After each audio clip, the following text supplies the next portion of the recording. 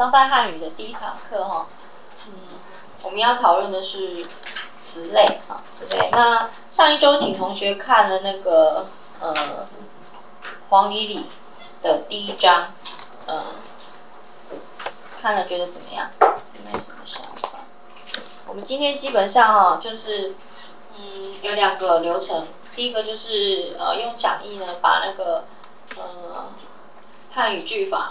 黄礼礼的那那一呃那个课本的第一章啊词类的，好，先把它 cover 了，然后呃接下来会带一些问题的讨论，然后如果有时间的话，呃再呃进到传统呃汉语的那个课本里头的呃对于词类的一些分析。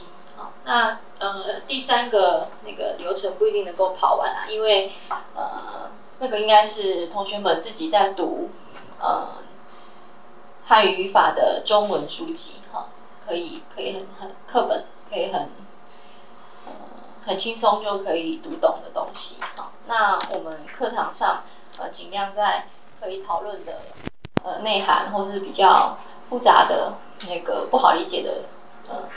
内容上，我们去去进行，好，让大家可以，呃，在课堂上可以学习到更多。好，那首首先我们进到词类的词的分类，词的分类。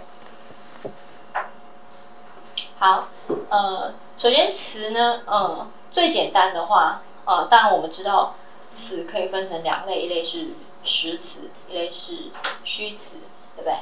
那各位进到那个华教学程已经都呃读。会会涉略到汉语言学，因为这是一个考科嘛，哦，是我们进来的一个考科，好，那所以可不可以请同学说一说实词，所谓的实词跟虚词，它的分野是在哪边？实词跟实实词跟虚词的分野，那同学什么想法？我们从这边绕过来，然后一人讲一个好了。实词跟虚词要怎么区分？嗯，实词、虚词是提供语句当中的语法功能，那相对的实词就是嗯实实际语义的哈，所以说是否能够承载实际的语义哈，然后还是它只是一种焦点轻重或是语法功能的呃词类，这是实词跟虚词的第一个区别。那要不要再讲一个？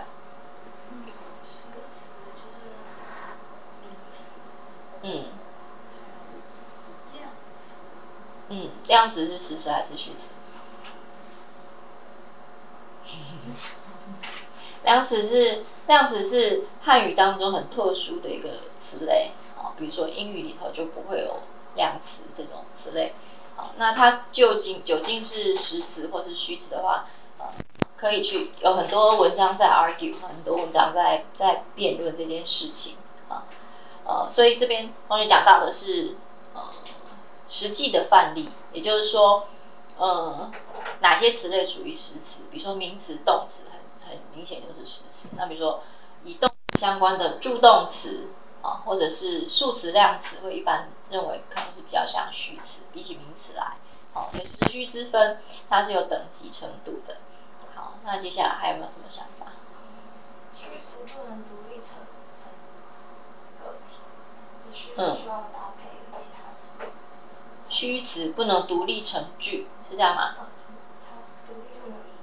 嗯，对，因为它是主宰呃句子当中的语法功能哈为主，所以虚词一般呢不可以当做答句，哈，呃，不能单独成句。当做答句，比如说，呃，当你的问句问到，哦，比如说今天谁没有来上课，然后你可能会回答说张三李四，它就是名词当做答句，所以它就可以独立成句，哈。很好，然后还有什么？嗯。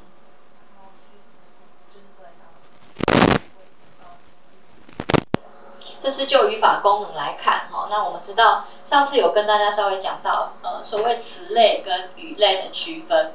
那以语类区分主主语、谓语哈，主所谓的主谓宾哈。那可以担任谓语的，比如说像在汉语里头，动词跟形容词可以担任谓语啊，那这些就会一般认为是实词。好，那如果呃是其他的连接连接成分的话，那不能当做主谓宾等等重要语法功能的，就一般就会是虚词比较多。好，所以这边整理一下，就是是否承载呃语义，然后还有在句中是否可以担任主语、谓语、宾语这个语法功能，然后还有呢，嗯。另外一个是刚刚同学没讲到哈，就是所谓能产性啊。一般来讲，实词比较能产还是虚词啊？每个句中都会要有虚词嘛，对不对？那乃实词是封闭性的词类，还是可以开创新词的？嗯，对。那虚词的话，一般呃，当做助动词的，当做连接词的，当做呃功能词的。好，通常就是比较闭锁的词类，好，就不会有无缘无故就造出一个新的助动词或一个新。但是名词，你可以想象，今天有一个新的物件，你发现了，那它可能或是发明了，那它很有可能就会造一个新的名词出来。好，然后还有就是调的部分，呃，很多那个功能词组或虚词呢，它都比较是轻声，好，或者是呃不是承载句中的那个呃重要的那个。呃，intonation，然后还有就是说出现的频率哈，出现的频率，你们可以想想看，在一个语片当中哈，比如说你呃，假设你阅读了两页书好了，里头你会出现比较多的功能词组，还功能词还是还是某一个名词，应该是实词出现比较多，还是虚词比较多？虚词为什么？因为它会重复出现，每个句子当中都可以啊，都一定要有某些功能词组来做连接嘛，哈。然后还有单独词能否单独成句，哈，这是实词跟虚词的简单的区分，哈。那除了实虚之分之外，哈，那我们还熟知的词类的区分，就是所谓的八大词类嘛，哈，对不对？八八大词类什么？什么名、动、形、副，哈，名词、动词、形容词、副词这一类的。那首先这边在那个黄丽丽的课本里头，第一一开始就开宗明义就提出一个问题，就是说，如果一定要把所有的词汇，一个语言当中所有的词汇库里的词，做一个简单的区分的时候，我们最容易辨识的词类是什么词？一个语言都要有的名词跟动词，为什么？这跟外在事物有关系嘛？我们语言本来就是一个。呃，作为沟通的载体，那所以说，当我们在讲世呃世界上的事物的时候，呃，最简单的就是事件，我们会讲一个事件，我们会讲一个物件，物件就是包括人物、人事物，好，所以比如说像人名啊，东西的名称，东西的名称，这就会体现在一个语言里面的是名词，对不对？那如果你描述的是一个事件啊，就是语句通常是有一个。呃，我们说主谓结构是语句最简单的结构。那以谓语来说，它最常见的谓语就是动词。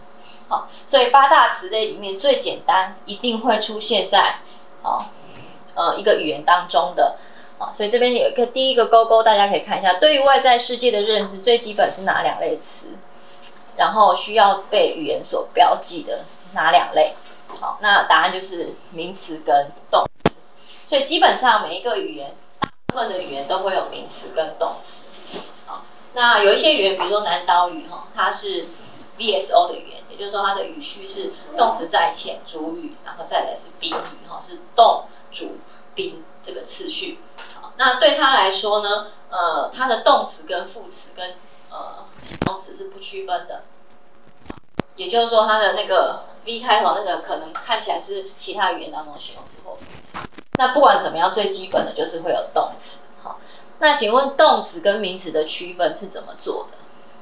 大家可以看例子第一跟第二，这边第一里头有报道、有翻译、有翻修；二的 A、B、C 里头也有报道、翻译跟翻修。好，那它们的区别是什么？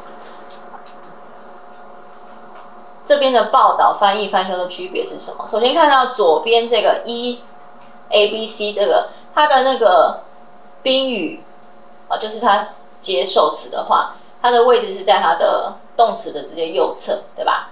那当然有一些可能有一些题貌标记，比如说冷哈，那右边这边来说，电视报道了事故跟电视台对那次事故的报道，看起来显然就是右边这个，他如果要接宾语报道的宾语的话，他必须用对这个介系词来引介，对吧？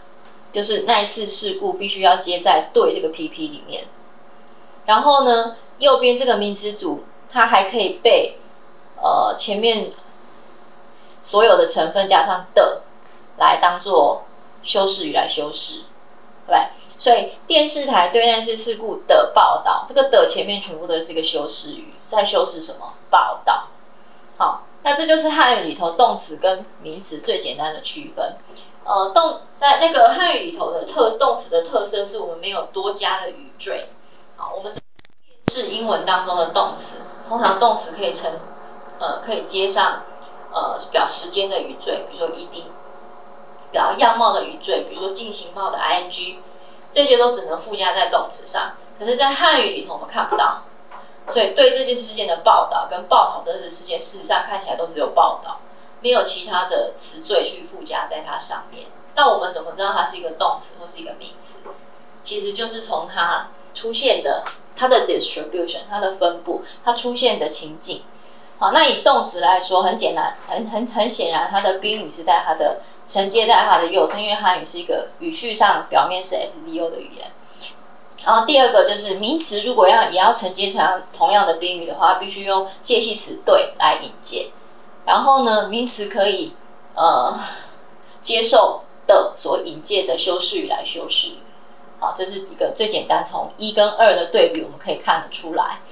好，那各位在看课本的时候有没有发现，如果我们要呃辨识动词的话，刚刚讲在呃英语里头我们可以看它的时间标记、体貌标记等等，那汉语里头有没有其他客观的解释的方式？我一下那动词，那个系统对课本是讲那个否定。嗯。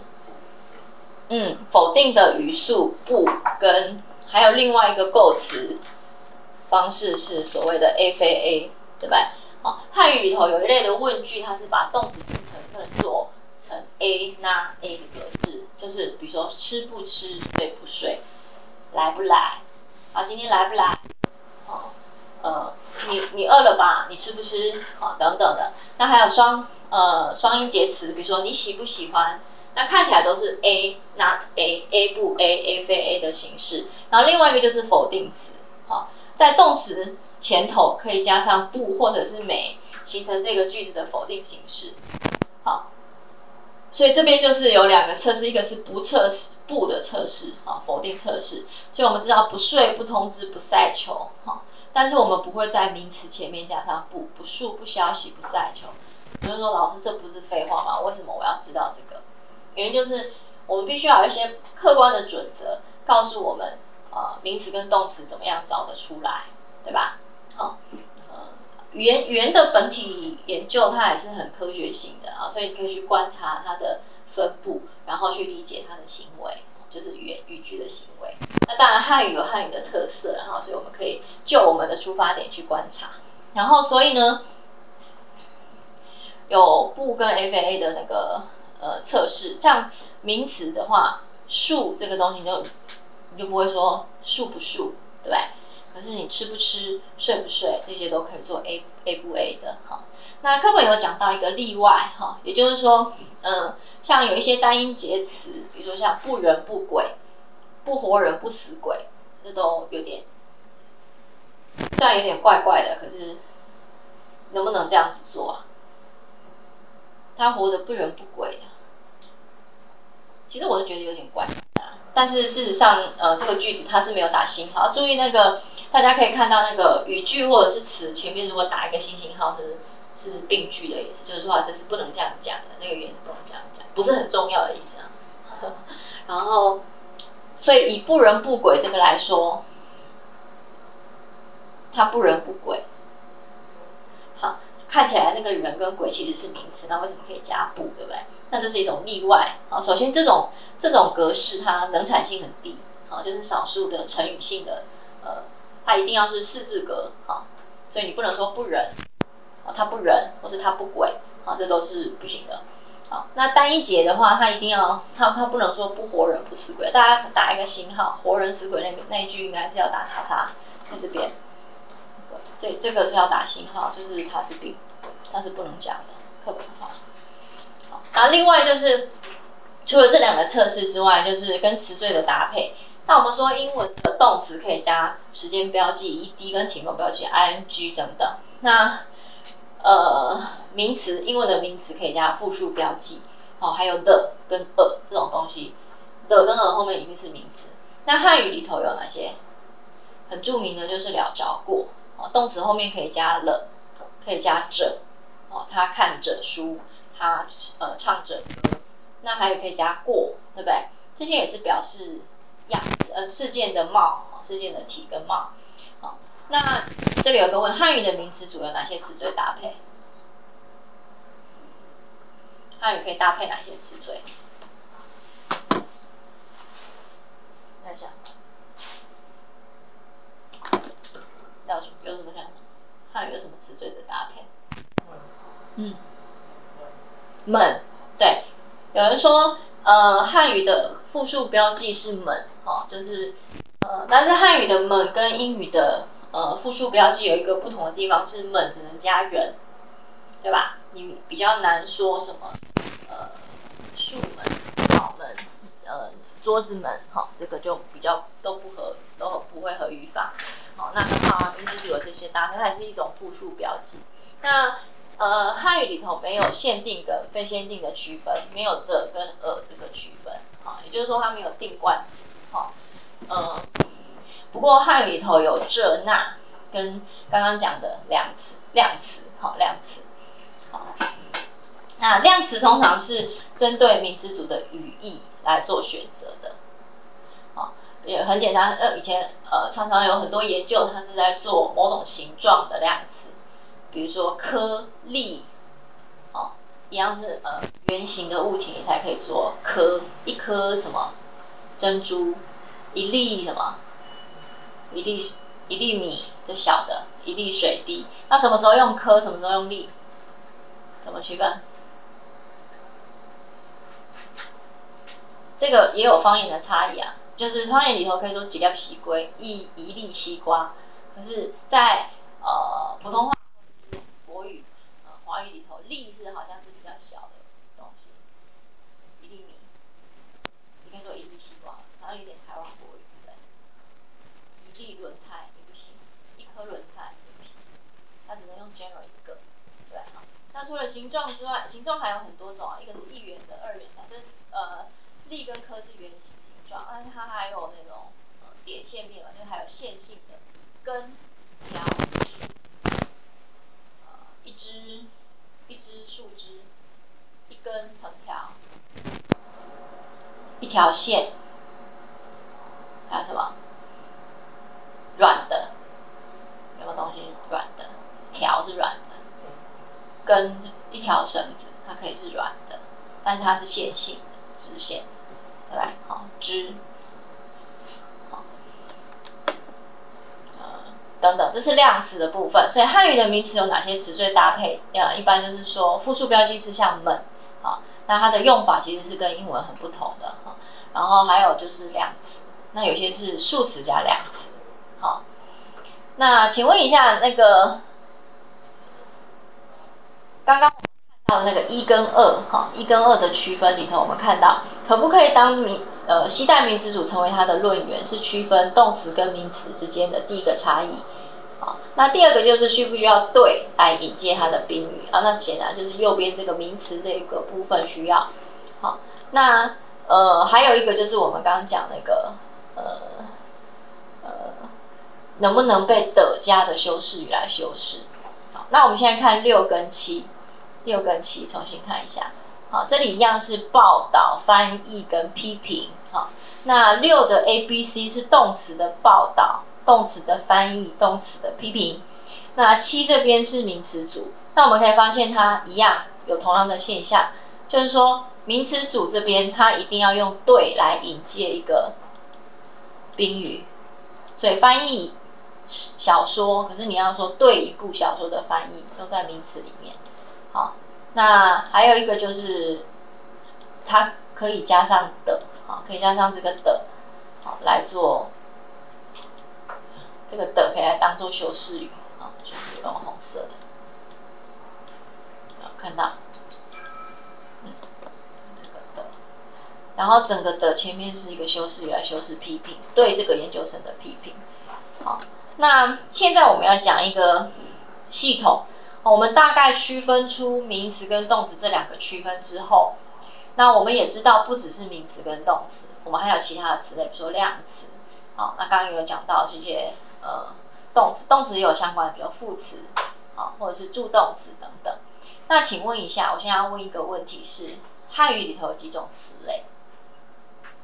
有没有办法固定讲一个数量？就是我们有几种词类？有吗？你们读过的那个课本里头有没有特别讲到过汉语有几种词类？看一下课程网站，有没有什么想法？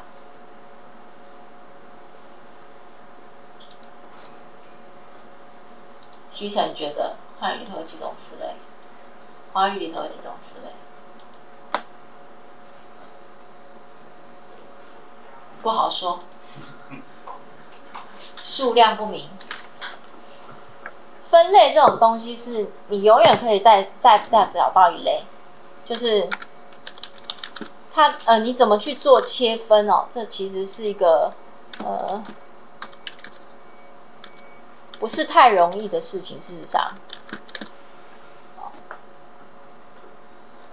你可以说一个语言里面只有两种词类吗？其实是有可能，为什么？你把所有类似于动词的，比如说副词、形容词，通通归类为一种词类，这把这三种词类归成形容词、副词跟动词，当做是一种词类。比如说像南岛语里头就是这样子，因为他们可以加同样的词缀，所以他们这三种东西可以是同一类。那名词啊，比如说名词跟量词跟数词这个，你可以把它当当做一类。那这个语言就只有两类。可是你当你说这个语言有八大词类的时候，你是可以区分成八种。那究竟谁是对的？有什么判别的标准？告诉我们说，告诉我们说，某一个语言它的词类是有几种？有什么想法？看一下同学们的名单。心远。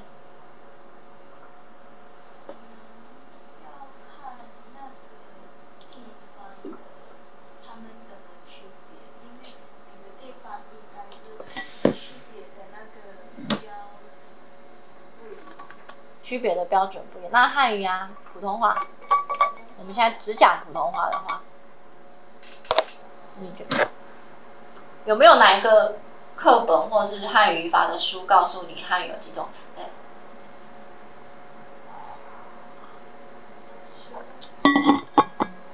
还是我们来数数看，汉语有没有名词？汉语有没有形容词？汉语有没有副词？汉语有没有动词？汉语有没有量词？汉语有没有数词？汉语有没有还有什么词？助动词？要、能、肯、敢，后面可以加动词的。我要去台北，去是主要动词，要的是助动词。他可能不来了，可能来是主要动词，他可能不来，可能是什么词？那叫做模态助动词啊，所以一定用助动词。介词，对，对我，他对老师很有礼貌，对不对？就是在翻成英文就是 he is polite to the teacher，那个 to 介词，还有什么？语尾助词汉语也很发达，ma ne a o 这种的，它可以主宰句子当中的语气。你加了 ma 就变成疑问句。呢也是，对不对？还有什么？句末助词，都是什么词？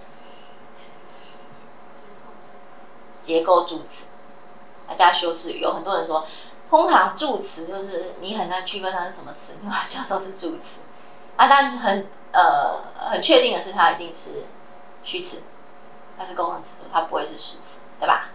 好，那有没有连接词？相对于 and 和和与间，对？我和老师是好朋友，而且这种句子形呃，像动词组跟句子形态的，它很漂亮，而且很用功，连接这两个形容词组。所以连接词还有什么？对连接词之外，代名词，他、他们、你、我、他这种代名词，还有什么？像十种嘞，我们如果这样列的，如果是列举式的去想，就可以有十种。有没有可能你去看语篇语料里面，还会发现更多？呃，极有可能。程度副词是不是？比如说他高，你不能讲他高，汉语你必须讲他很高。很是什么词？非常高没有问题，它是有程度的。他很高很高，他很高的时候，这个人高不高？那你说张三很高，他有多高？一百八还是一百六？可能要一百八，一百七可以说他很高吗？不行。好，一百八，那他非常高，有比很高更高？几公分？一百九才能说他非常高。那他高呢？我不能讲他高是平均嘛，可是我们可以用对比的形式，比如说他高我矮，对吧？不用很。那他高我矮的时候，他几公分？我现在在讲程度副词嘛，非常极极极高，啊，很高这种这些的，它算不算一种词类啊？如果要把它算一种，二十一种了。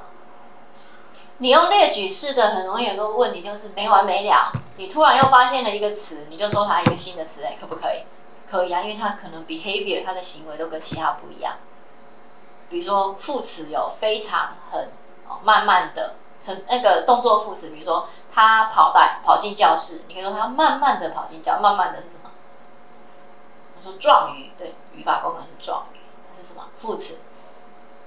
那这种副词跟刚刚讲的很非常急有一样吗？好像不一样，它修饰。程度副词修饰的是形容词高，但是慢慢的修饰是动作跑步，他慢慢的跑进教室。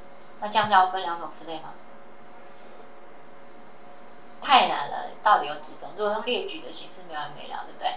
那课本里面引介了一个一个系统哈，我们叫做 feature system 哈，征信，我把它翻成征信哈。什么是 feature system？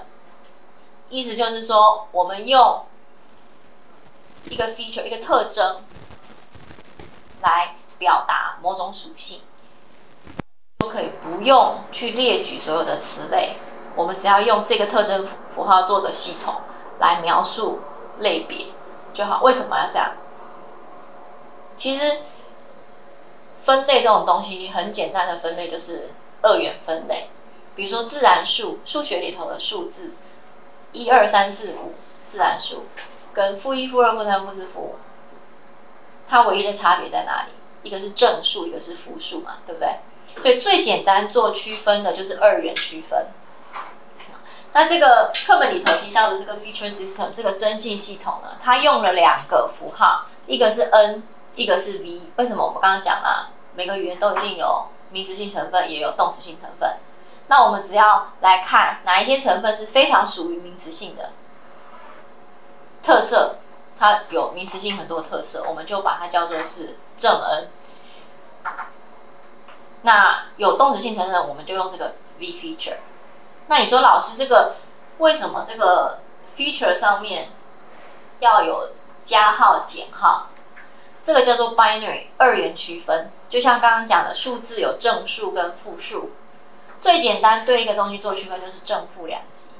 好，那所以比如说我们说。有一类词，它它是像刚刚那个报道，这里看到的例子，报道、翻译、批评这边，它需要用对来引介，它的宾语，请问它是比较像名词还比较像动词？比较像名词，对不对？那动词是直接在 V 的后面加上它的宾语。好，所以呢，需不需要用介系词来引介？这是一个 V 跟 N 的区分其中一种。那我们就来说，如果呢，你当你检验到这个语词在这个语言里面看到这个词，它是需要用对或其他介系词来引介的时候，我们说它是比较像名词，对，所以它是正 N。那直接可以接宾语的，我们说它是负 N。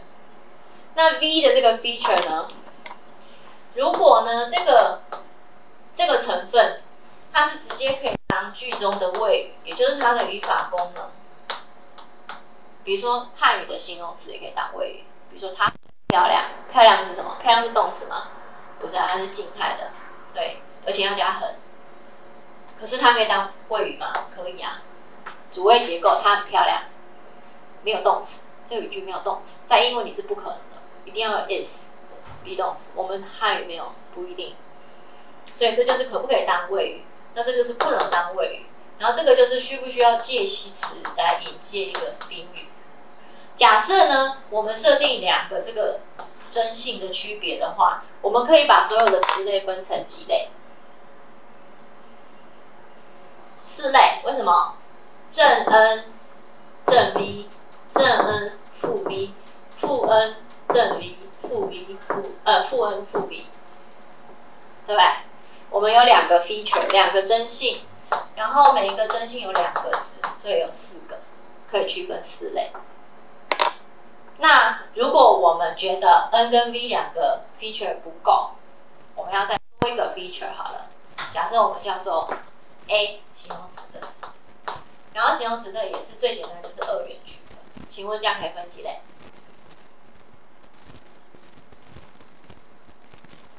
八，为什么？再乘以二，八八类，对吧？这样我们就可以用三个 feature 来区分八类东西。那我们需不需要用列举方式？不用，我们用这个系统来捕捉。它有什么好处？这样区分有什么好处？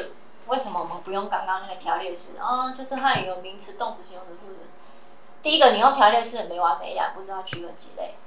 第二个是这个可以捕捉词类的共性，比如说 V 这个它的判别条件是是否可以当谓语，所以呢，形容词跟动词都属于正 V，它是你就会捕捉到形容词跟动词的共性，在汉语里，对吧？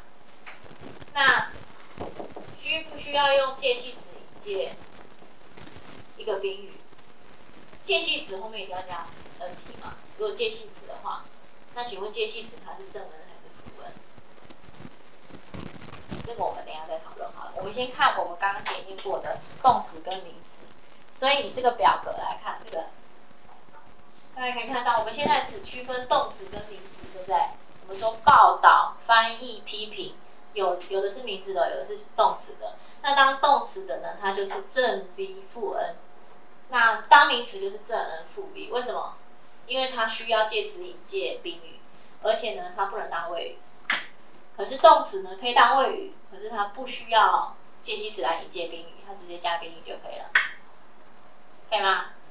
所以我们以后就不用说哦，这个语言里面有一个动词类，不是，它就是正 N 负 V。呃，对，正 V 负 N。那另外一个语言里面也有这种属性的，它也是正 V 负 N，那你就可以捕捉到。它的属性，而不是只是列给它一个名字而已，对吧？有道理吗？而且它不是不会太 powerful。什么叫太 powerful？我们刚列举的，我要列举一百种都可以啊。我每一个词我都把它分一类，可能是一种模态助动词，但是感是另外一种，能是另外一种，会是表时间，又是另外一种时间助动。所以你们看很多语法书，它会。比如说，光助动词就有好八种助动词，对不对？或者是句末助词就有四种句末助词。为什么？表疑问的、表惊叹的、表示你就表达那种惊叹助动词、疑问的，这没完没了嘛。那重点是什么？其实我们对语言的了解，重点是它的属性。如果我们有这个真性的那个，我们可以捕捉它的属性，我们不用用那么那么多那么多名词去去捕捉它，对吧？好很好。那方位词我想先跳过哈，方位词有一些特色，它是跟名词有关系的，然后它的地位不一样。我想先讲讲形容词比较重要的词类，哈，跳过来一点一点三。那刚刚有讲汉语不需要系词就可以担任让形容词担任这个谓语，对不对？系词是什么？对，没错。我们所谓的那个 be 动词，对，就是那个呃英文做英文那个语法的老师，他可以说是 be 动词。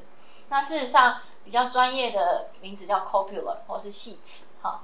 那我们不需要系词就可以让形容词担任谓语，因为因为像英文里面你要说 she is very beautiful，或是 she is smart，加上形容词，可是我们不需要，但必须加上很，那这就这就那个那怎么样判别这个汉语里头的形容词？这很简单了，就是它在当主要谓语的时候前面必须加很，对吧？好那现在我们说好，我们知道汉语里头可能会有像形容词一样的东西，请问一下，怎么侦测它？我们刚动词有一些侦测嘛，加否定词或是能不能 a 那 a？形容词怎么样？形容词有没有及物形容词？还是它都是不及物动不及物谓语？它有没有加宾语的可能性？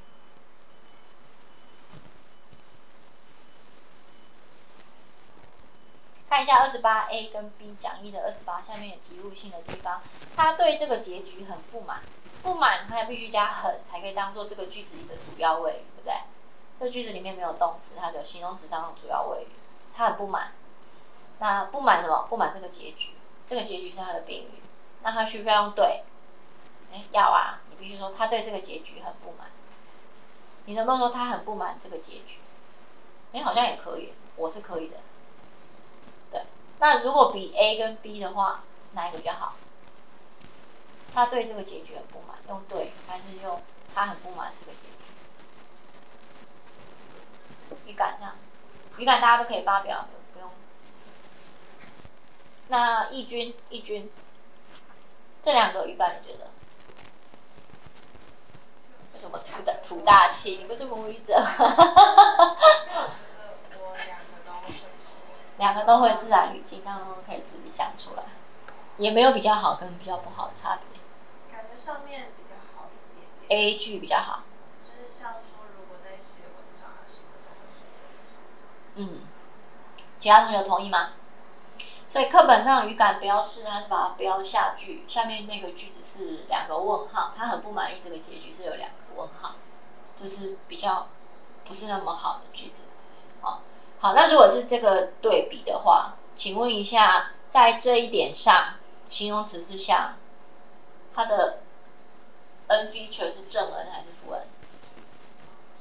正 n，因为它跟名词一样，需要用对来接它的宾，好，那另外一个测试是我们叫做重叠重叠构词。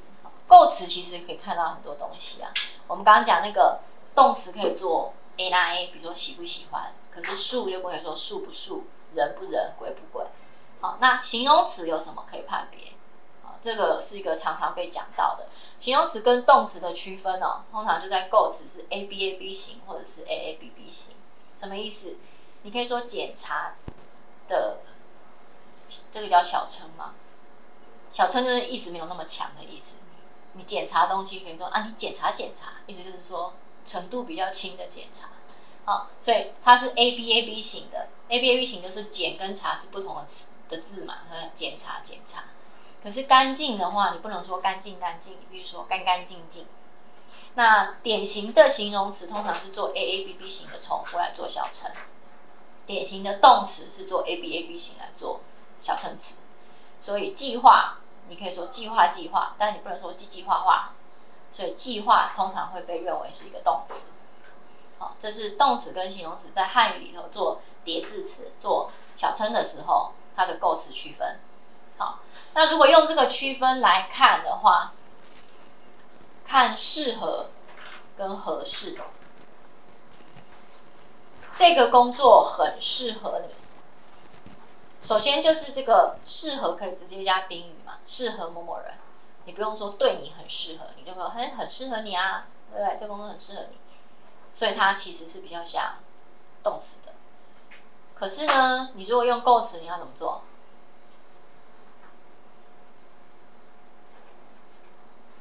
适合是是适合合还是适合适合？都不行啊。那合适呢？首先很合适，能不能说很合适你？不行，一定要用什么？对你很合适。所以适合跟合适哪一个比较像名词啊？那个 n feature，合适比较像名词，它是正 n，对不对？适合是负 n。好的，那重复构词，好，重复构词这个可能不典型。适合适合，适适合合，合合适适，合适合适，合适合适好一点，比合合适适好很多。对，但这个不显著了哈，我们就，但至少适合跟合适，我们看它能不能接宾语，我们可以知道它比较像是名词性成分，或比较像动词。所以合适跟适合显然不是同样的词性的东西，对不对？好，再来明白。明白是动词还是形容词？啊？首先，你可以说他明白这个道理，直接加宾语。他对这个道理很明白，也可以。那怎么办？因为看起来那个 n feature 的区别，它也可以正号，也可以负号，对吧？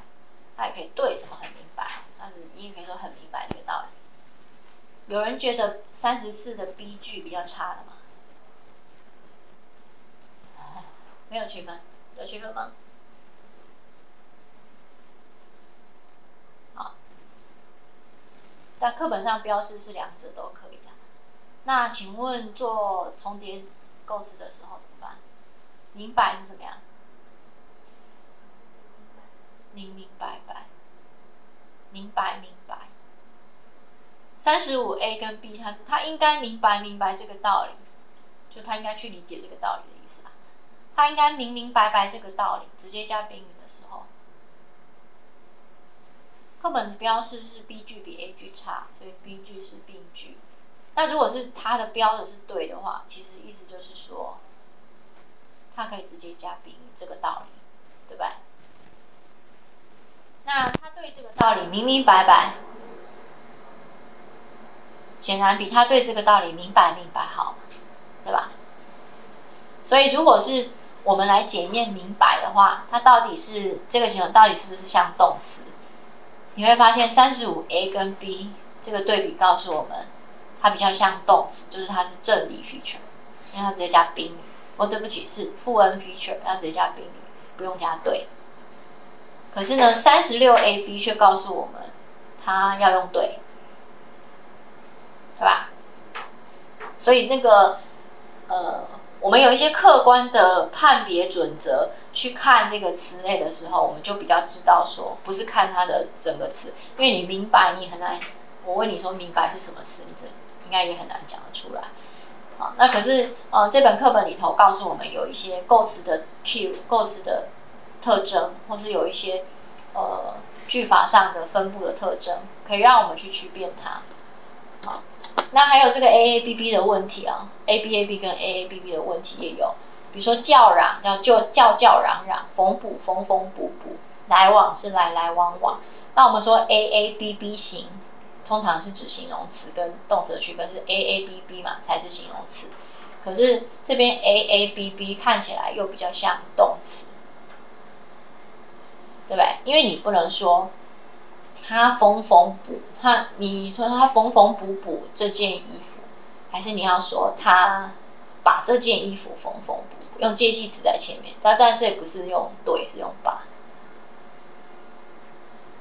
所以像四十一，他把这件衣服缝缝补补穿了很多年，可是他缝缝补补那件衣服穿了很多年是怪怪的。那以四十一这个对比来说，他需要介系词来引介。一个宾语，显然它是一个正 n feature，也就比较是，也就是比较不像动词嘛，对不对？然后还有就是很跟是的问题。好，刚刚讲到那个汉语的形容词里头，我们没有 copy 了是，但是我们必须要用很。比如说，你很爱他，他很感谢大家的帮助，我很同情你的遭遇。可是有时候用是，比如说他是英雄，他英雄就不行。他很英雄，你说他是很英雄也不行。好，那以这个来说，那个是如果我们把它当做是一个 copy，但很多学者认为不是啊。所以三十八 A 就是有点类似于英文的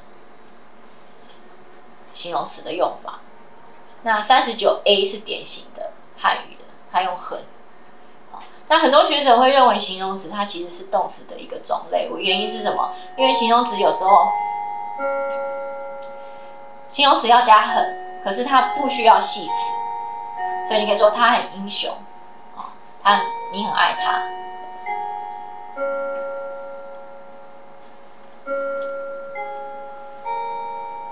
好，在下课以前呢，我们回到这个表格，我们刚刚想说我们有两个 feature，我们先不管这个 a feature 哈。刚是在 demo 给大家看，说在一个 system 我们去设计的时候需要几个 feature。那现在有两个真性 N 跟 V，我们说可以区分四类。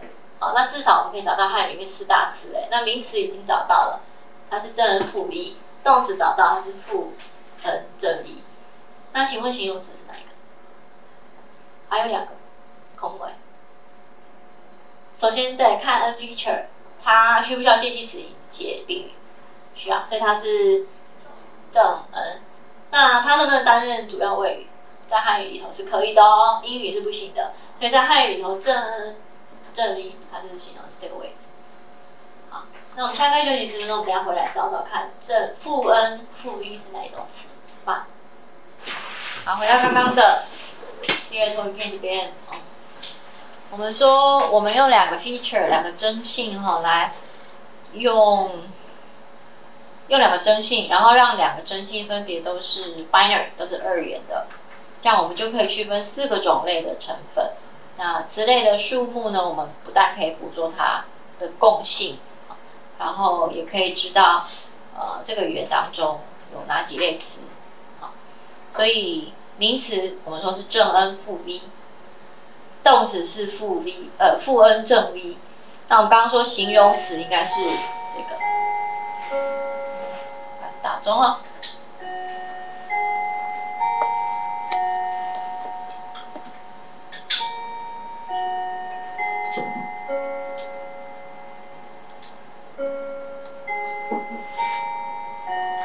好，所以形容词我们说是这个类别，对不对？认证为什么？因为它形容词需要用对来引接它的宾语，然后呢，而且呢，它可以当做主要谓在汉语里头。好，所以，呃，第三类词就定位出来了。那最后一类词呢？啊，我们看一下这个是介系词。好，那课本有讲说介系词是汉语里面定义的比较不完善的词类，原因是因为介系词的它的来源哈，这个历史来源通常不是我们当代汉语哦、现代汉语来去呃语法上去一个考究的依据。好，那不过呃，我们还是。可以去了解它，哈，因为语言都会做演变嘛。那大部分汉语的介系词其实本来都是动词。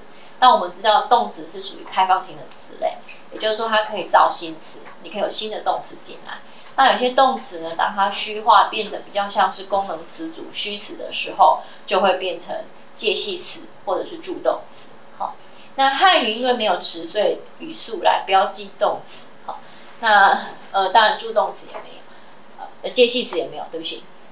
但是我们可以知道，是一般介系词的话，是后面会加一个名词，形成介系词组在句子当中。那汉语里头呢，有这五类哈，这边写四类，但其实五类哈。把背通常，呃，你们这这本课本如果读到把字句、被字句，你会发现把背其实被当做主要动词。所以其实大部分就这四类，之于这一类，as for 关于，或者是从，或是给。像这类，第四类是比，哈，比字句，比字句也是很有趣的哈，比字句。那四十二当中这四类哈，呃，它的特色是这类词都不可以凭借其他语速直接引介名词在它的右侧，所以介系词跟动词一样，它是负 n。为什么？因为 n 的判别准则是什么？n 的判别准则是能不能需不需要用介系词再加它的名词、它的宾语，对不对？那介系词本身后面就直接加宾语啊，所以介系词不用再加一个介系词再加宾语，所以它是比较像动词的，也就是说它不需要其他成分来帮助它引接它的宾语，它自己后面就可以加宾语。在这一点上，它是比较像动词，好，也就是 n feature 的区别应该是负 n，OK，好，那四十三这边呢有做这个它的 behavior，它的行为，这四类动词，这四类介系词的行为。好，那它的表格是整理在这边，这边呃打错，这应该是四十二 A B C D E 啦哈，不是三十二。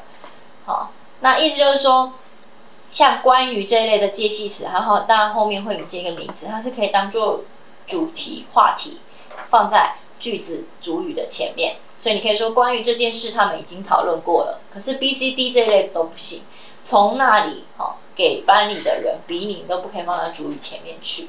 好，所以在三十二 A 这个，它主语前的话是可以的，其他都是不行，打叉叉就是不行。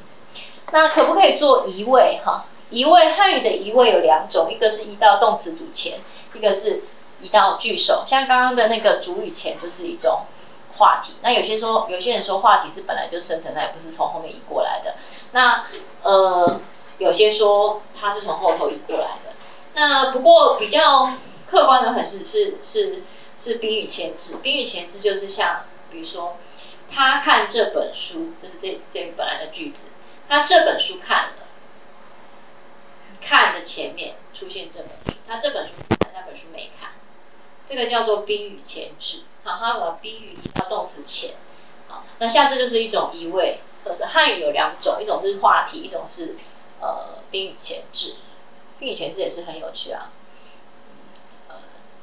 前两年写了一篇，啊，移位的部分就是 A、B、C 哈，关于从给它是可以做宾语前置，所以你可以看到它那个呃 B 句，它从那里带回很多，它可以把从那里移到带回的前面，啊，它比你经验丰富是当然是可以，比你比这句比较特别哦，比哦，你到底要不要把它当做是介系词？大家可以看那个四十三 D 那个句子，它。比你经验丰富，他经验丰富嘛？那比是什么？有些人说它是轻动词啊，轻动词你们现在如果不知道它是什么东西，啊之后在看课本的时候会看到。那有些人说它是介系词，啊，那有些人说它是助动词。介系词的特色是什么？介系词的特色是它那个词加上名词以后，它可以移在不同的地方。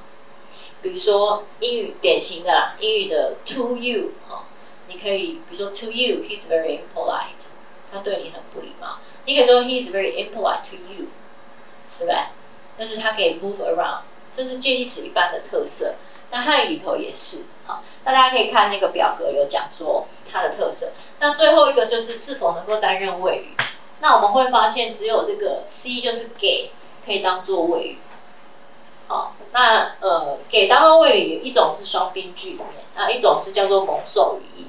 比如说，呃，他给我这本书，那是双宾句，它就是主要谓语啦。他给我这本书就是主要动词，这个句子的主要动词。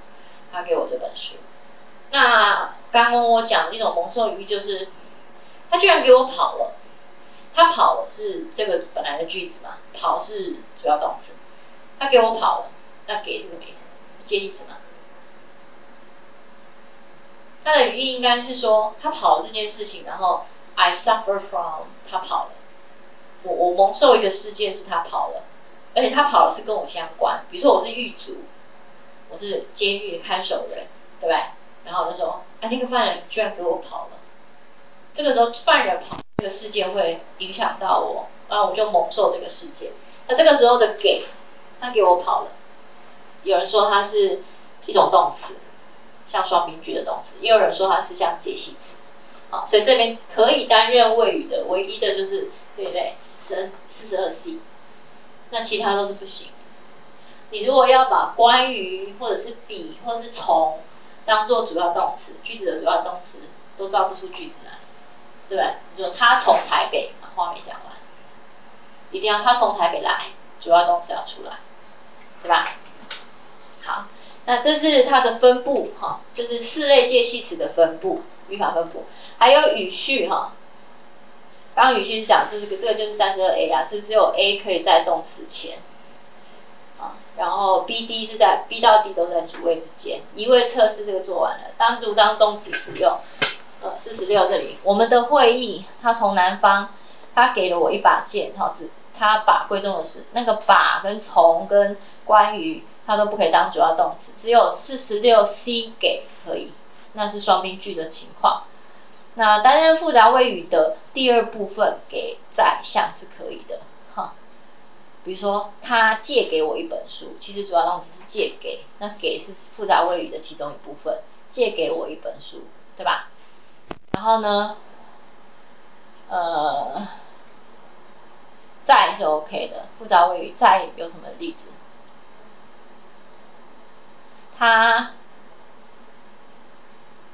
他躺在我胸口。这个在是介系词，对不对？可是他是躺的第二部分，趋向动词也是，那向也是，啊，这就不造例子。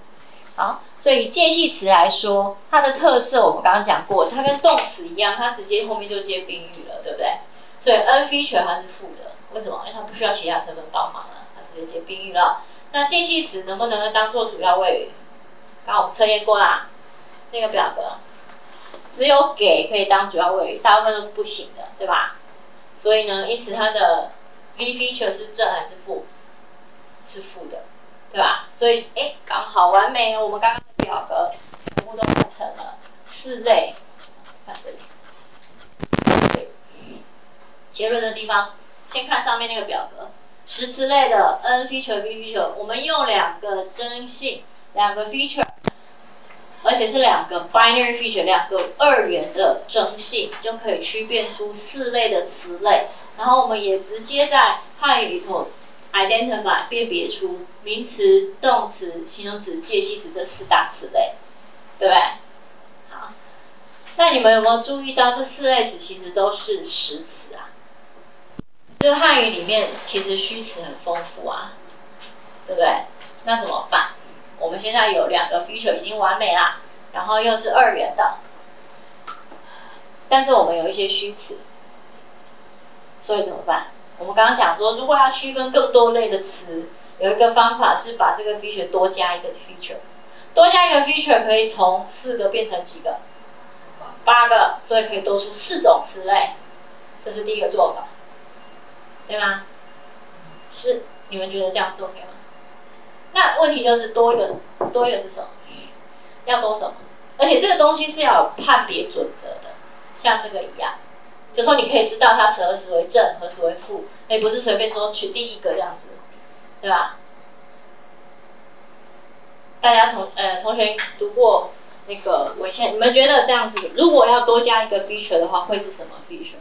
那它是二元嘛？因为它是二元的话，就会变成八种类。那你觉得多的那个会是什么？还有那个 feature 要怎么判？嗯，婉君刚才怎么样？婉君是吗？嗯，你觉得？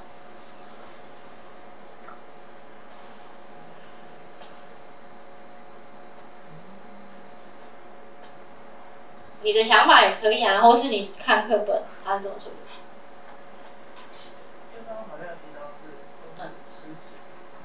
嗯，嗯，很棒，嗯，你看过书了。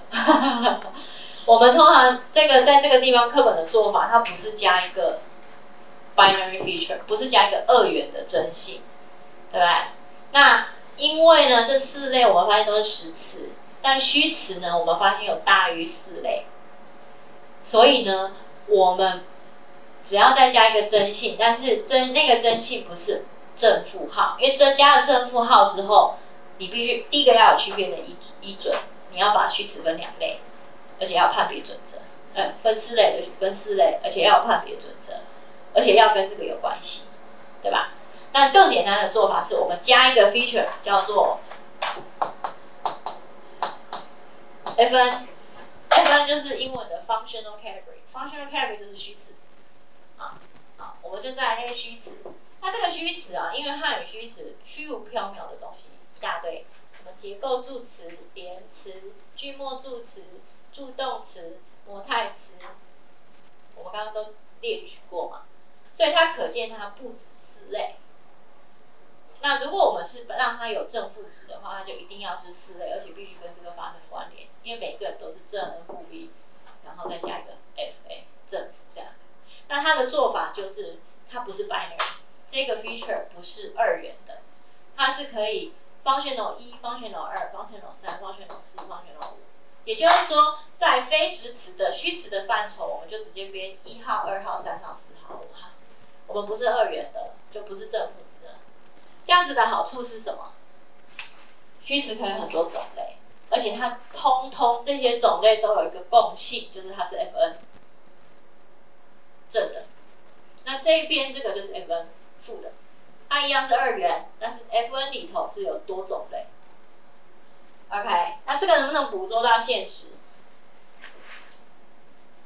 那当然，它写在课本里当做答案，那可见它就是的确是比较捕捉得到现。因为你如果干只有两类的话，其实是只有四个可能性。好，那我们看一下虚词这个部分。汉语的虚词好多种哦，对不对？我先念一下这个好了。以真性为本的词类理论，这个刚刚我们八个区分，它的优势是可以捕捉一类成分的语法共性。比如说名词跟形容词。它都需要介系词来接名词，所以它有相同的 n feature，它有相同的 n 的真性。好，那不过这样的分析的缺点是两个真性加上两个标值，最多只能区分四个种类。好，所以我们已经有名动形介，那这样子的区分显然是不够。那我们的做法就是一点二点一这边，我们设一类词类叫做虚词 fn，而且这个 fn 呢，它它的值是大于等于零。所以你可以有 Fn 一、Fn 二、Fn 三，一直往下。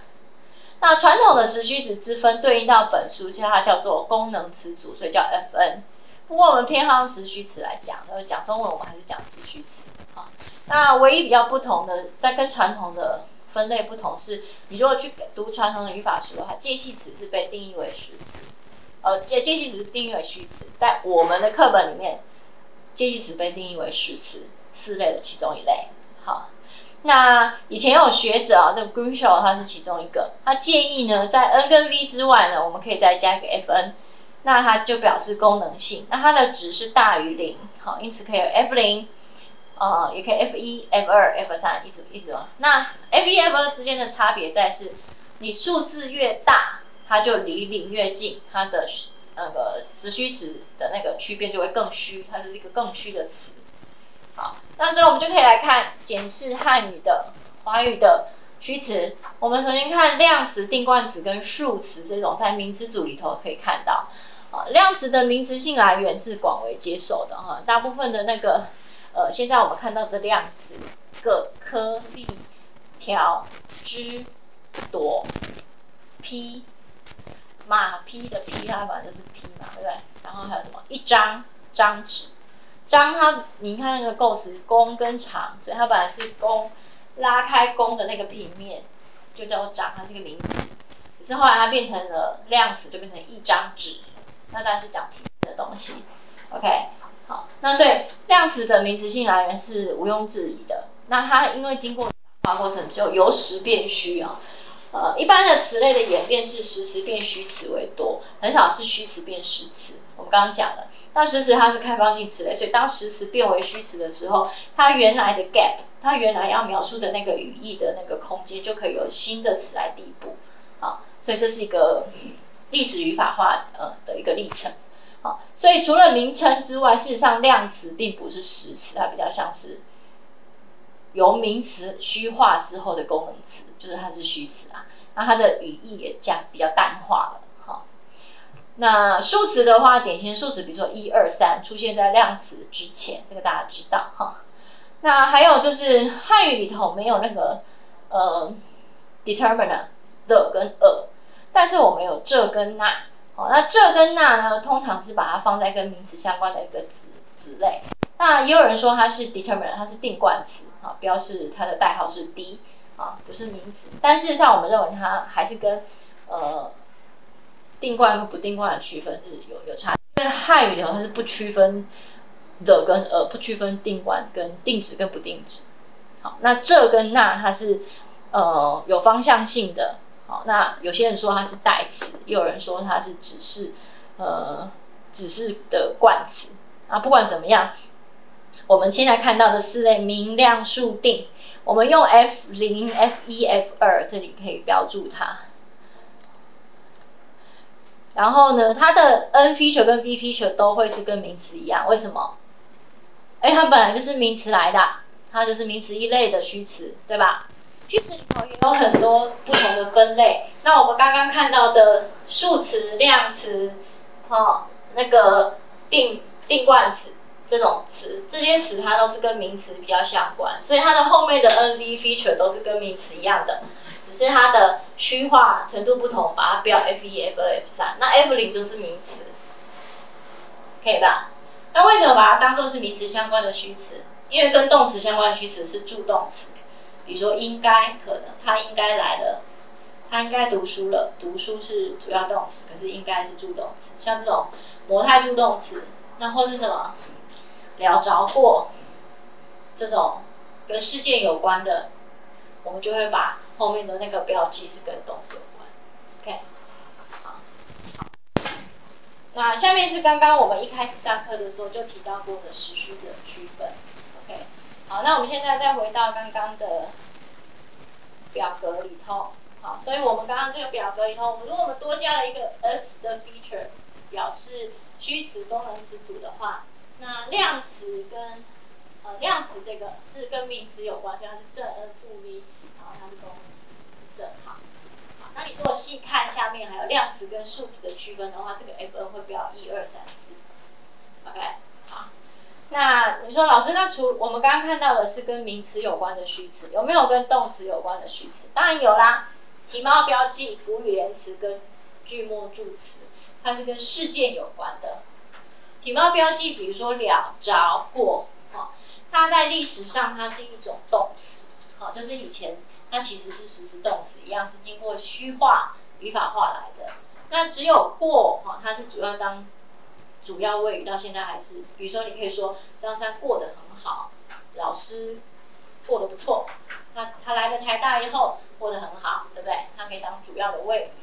但另一方面，这些词词缀其实它不是实词，因为它的语义比较虚无啊，啊，所以我们也叫它做功能词。那这个时候呢，我们就会把这个体貌标记是 aspect 的意思啊，英文 aspect 就 A S P。Sp 标 F1，然后它的 NV feature 是负 N 正 V，因为它是跟动词有比较像的。那第二种跟动词有关叫补语连词 complementize，简称 COMP。complementize 是什么？在英文里面就是 that whether。好，呃，英文里头比如说 John think 这是动词，对不对？That 就是后面可以加一个子句，那有没有想过 that 是什么？或是 John wonder whether wonder whether Mary is smart，对不对？后面加疑加子句是疑问疑问的子句，这是肯定的子句。that 跟 whether 是什么？在英语的语法，我们叫做 complementary 补语连词。为什么？因为它后面有接一个补语子句嘛，然后它连接一个补语子。这叫补语连词。那汉语有没有这种东西？张三认为李四很聪明，认为后面直接就加一个子句，李四很聪明啊，不让补语。有没有补语词？闽南语有，有没有闽南语的使用者？庆语嘛？你说闽南语吗？不说。那谁说闽南语？你们有谁说闽南语？平真，嗯，那闽南语里头，我说闽南语里头有补语连词，你觉得是什么？后面有个子句补语嘛，对不对？然后连接它的东西。台湾国语也有，其实就是说，公，我想讲哦。一家跳，我想讲老师今天得来，老师今天不会来。那我想说，老师今天不会。台湾国语不是会讲一个说，我知道说他昨天没来上课，是很台啊，对不起。那个说，他就是其实是补语连词，为什么？因为它后面接一个子句。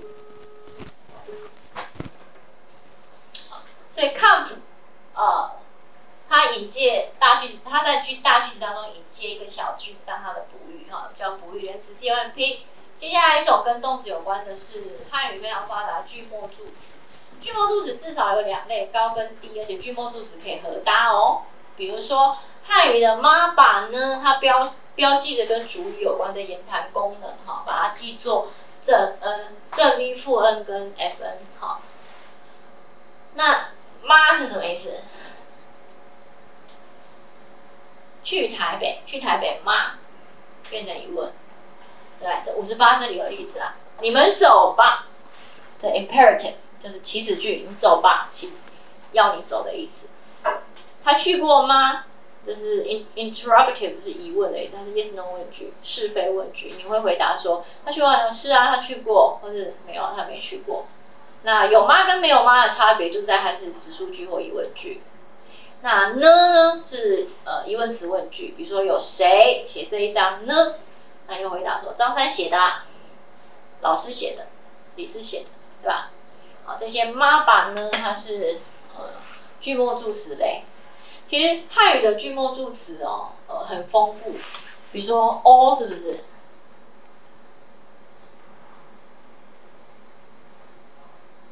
老师今天有出作业哦，你回去要记得写那个 all 什么意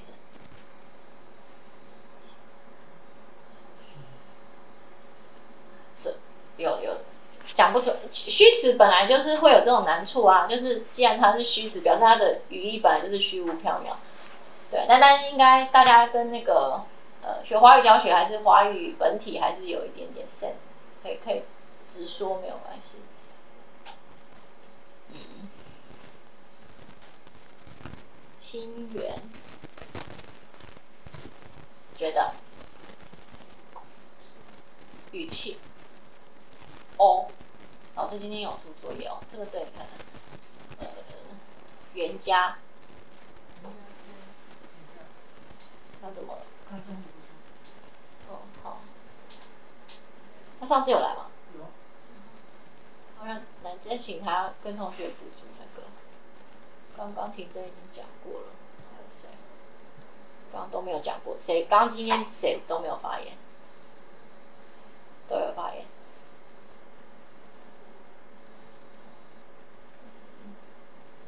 朱明嘛？你觉得？这个对你可能。哦，你觉得是什么感觉？老师今天有出作业哦，你再不写，可能会被挡掉哦。哦，嗯，强调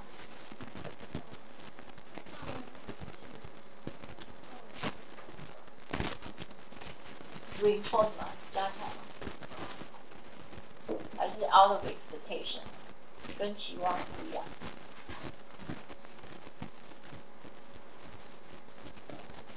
西城，你觉得？O 是什么？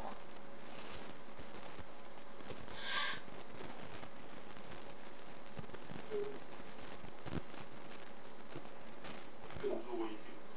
更弱一点。如果老师叫我出作业，感觉比较强硬。简单的 statement，简单的陈述。如果老师叫我出作业的话，好像。跟你的关系比较近，表示我跟你亲密，有点装可爱的感觉，好像女生比较会常用，对不对？男生就说老师今天有出作业哦，好像怪怪的。还有什么啊呢？老师今天有出作业啊，理所当然的感觉对啊，他昨。嗯，他昨天都没睡，因为今天要交作业啊，大家可以去那个系列，那有一些句末助词它可以并用，比如说什么，一个高一个低的可以，像问哦，问一个问题啊，在这之前并用之前的算不算？他很聪明的的是句末助词。汉语法很简单的，他是他是很老师是很公平的，是吗？是句末助词吗？那如果不是，它是什么？有办法分类在我们现在定义到的词类里面？显然它是功能类的嘛，对，不会是实词。然后它跟静态谓语搭配，就是他很聪明，你不会说张三打李四的，会说她很漂亮的。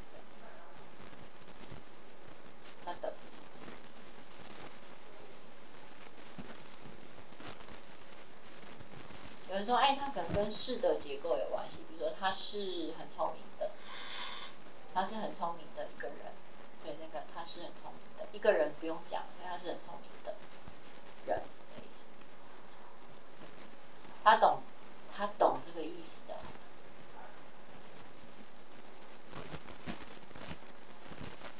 是句末助词？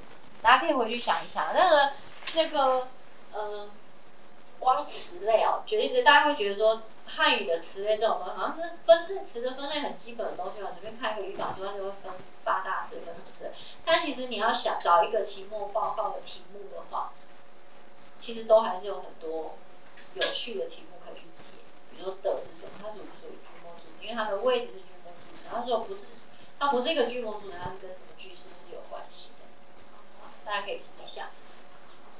那这边有讲有讲到啦，就是引介的的，还有一种大部分的功能是它在前面可以加一个 N P A P P P 或者是一个子句，成为一个修饰语。所以的常常出现在 X 的 Y 的构式当中，其中 X 是名词组，形容词是 A P，然后介系词组呢是子句，呃呃，介系词组或是子句啊，比如说像五十九这些例子。这位学者的观点，这位学者是一个名词组，十分诱人的条件，十分诱人是形容词组。关于战争，关于嘛，所以就是 B B 咯，是介系词组加上的。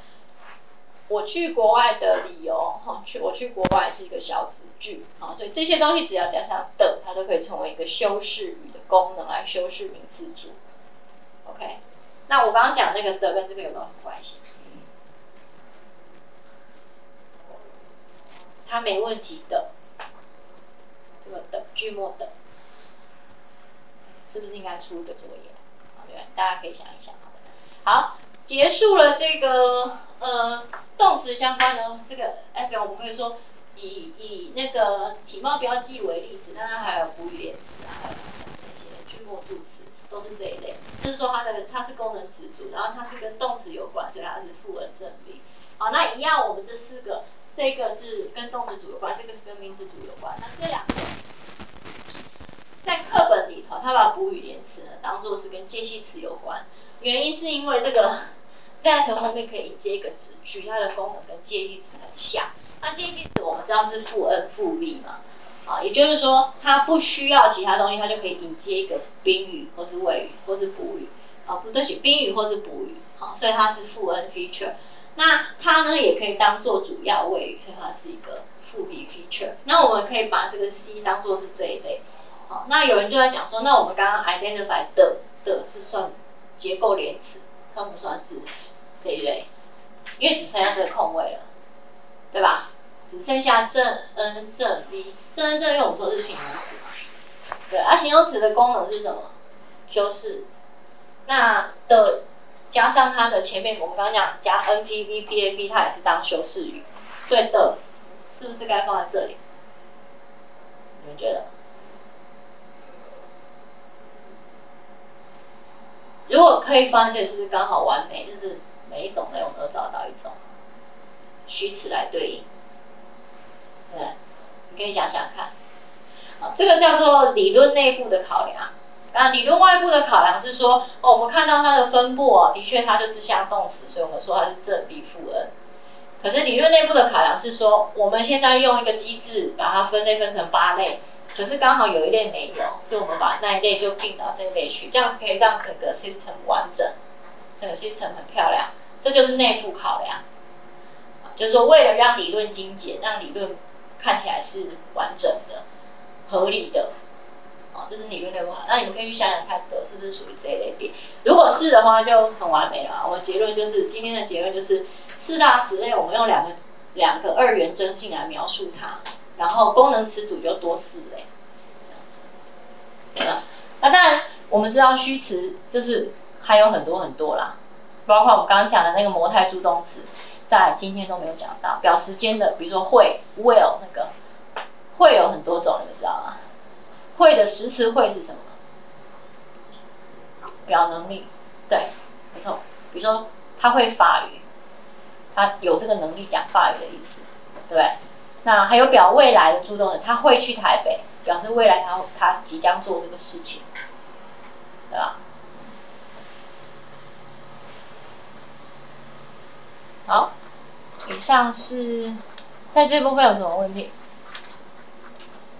啊，到这边我们就已经把那个呃词类在黄理理这个课本里头词类分类的逻辑，还有我们怎么用系统性的描述、理论内部系统性的描述来做词类分类的一个呃大致的原则跟大家讲。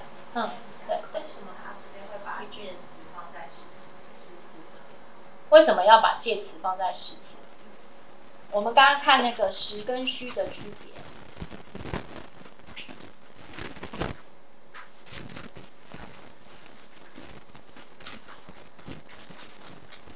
好，对实词一定要承载语义，可以当做主谓宾的几种重要功能。然后呢，它能产性高，而且有固定的声调，在篇章中出现的频率，呃，会比较低，因为它不是。呃，连接语句的成分，然后呢，介系词能不能单独成句？好像可以。他昨天怎么了？去台北。嗯，去动词。好像不能单独成句，对不对？比如说，他他读了什么书？那你可不可以回答说，关于当代语法？不行，关于加上名词，这是一个介系词嘛，直接当答句独立成句，好像也不行，对不对？这是很好的那个问题啊，为什么他要把它当做实词？一个他没有，你觉得你们觉得介系词有承载实际语法？我们也可以来解释，好吧？这是一个很好的问题，我觉得可以讨论一下，是有没有承载语义啊？那四类助动词，我们刚刚讲有。关于从给比，先不考虑把被字，把被字当然有实质语义啊，而且它对句式的结构影响很大，对那关于呢？从呢？给呢？比呢？有没有承载实际语义？我们不能说它没有语义啊，它的确会有语义，可是它语义是似乎不像动词那么实质，对不对？那能不能当做主谓宾？主谓宾语？只有给可以啊，我们刚刚讲过了，只有给可以当双宾句。那还是它只有语法，除了给之外，其他应该都只有语法功能。那它有没有能产性？它有没有造新词的能力？好像很少介系词会变多嘛，对不对？那有没有固定的声调？这个倒是还好，固定的声调倒不是一个太大问题。它的确是有固定，它不会是读轻声的东西。篇当中出现的频率。至少那个对或者是给频率是比较高的，那你说从去呃往这种东西可能就没有那么高。单独成句我们刚测试过是不能单独成句，所以总的来说，你们觉得它是实词还是虚词？虚词。虚词。怎么办？那你觉得课本为什么要把它当做实词？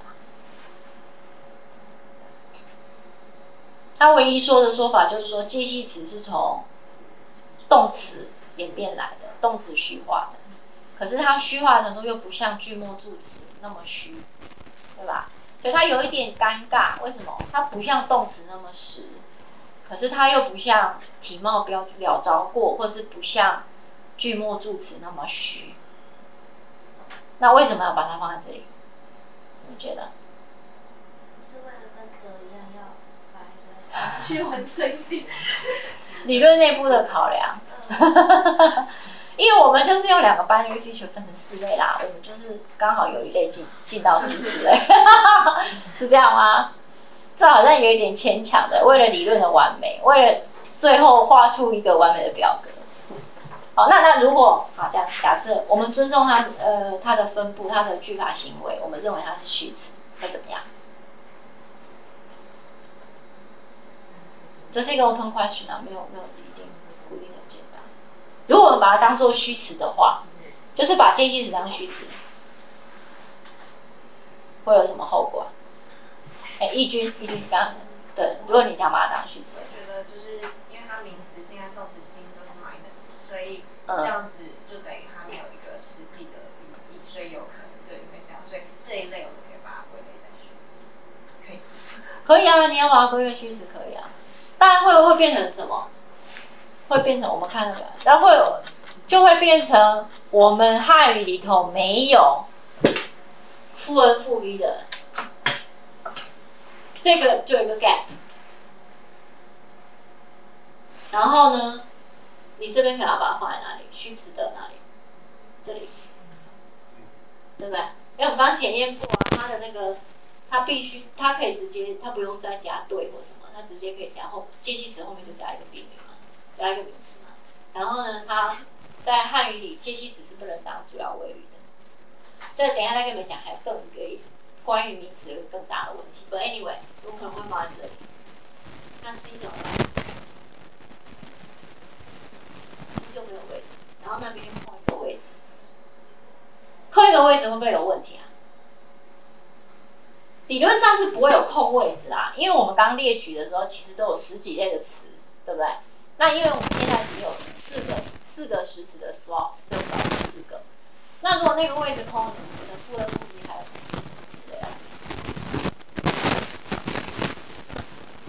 你要找一个什么？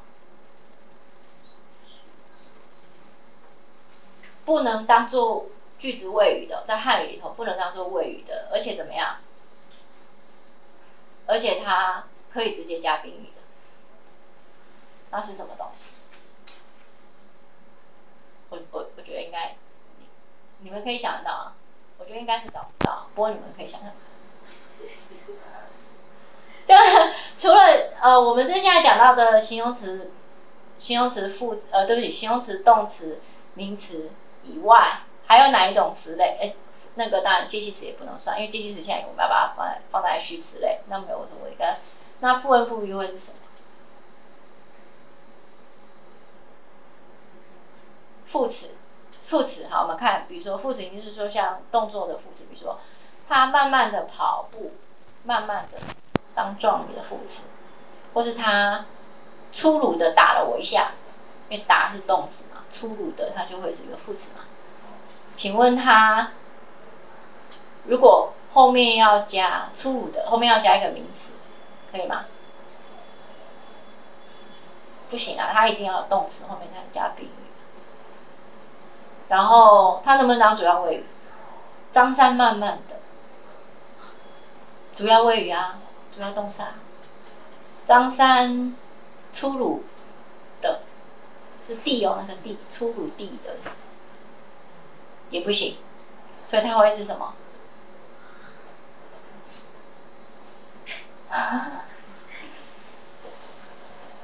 这是个很有趣的问题啊，因为你只要了解这个理论它的机制，你就可以运作，你就可以知道怎么样去做分析。那我们不一定要完全相信课本的分析，课本的分析也是他人去归类出来的。但是我们要知道它的机制嘛，就是说我们有两个 feature 之后，我们怎么样找到东西去填补这个 slot，然后我们知道它为什么要这样做，然后它可以分几类，对不对？这这问题很好，所以有可能是副词。那你这样分析有没有比有没有比课本分析好？把介系词当做是虚词，然后把副词当做是实词。是副词也是在衔接上比较有就是有些人认为是虚词，有些人认为是。对啊，不同语言也有差异。像我刚刚讲那个南岛语里头，它句子里的主要动词可以是一个副词。对，比如说他慢慢，那我们是不行啊，对不对？但是在有些语言里面是可以，张三慢慢，意思是说张三动作很慢的意思。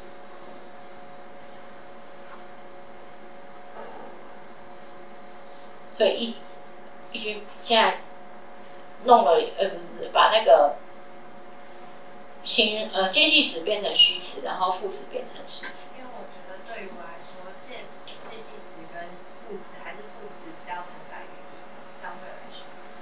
是没错啊，那其实是汉语里头这样子啊。然后汉语还有一种是补语，比如说张三，我们说他快快的跑进教室，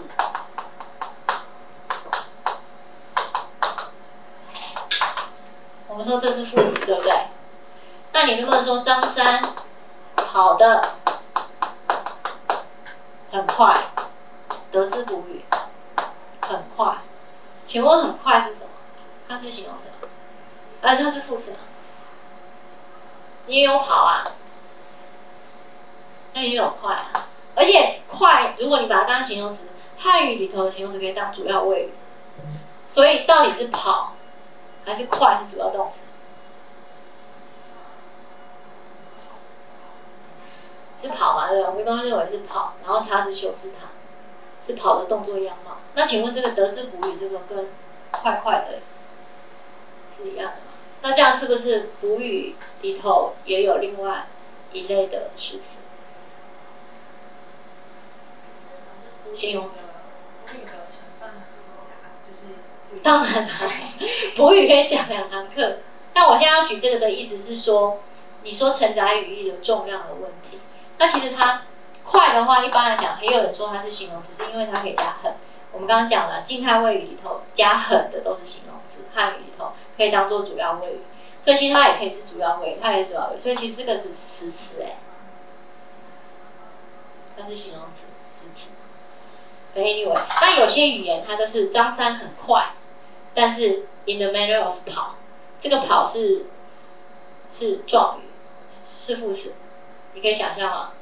有些语言是这样，就是张三很快是主要动词，然后跑是修饰它的，就等于是张三快快的跑的意思。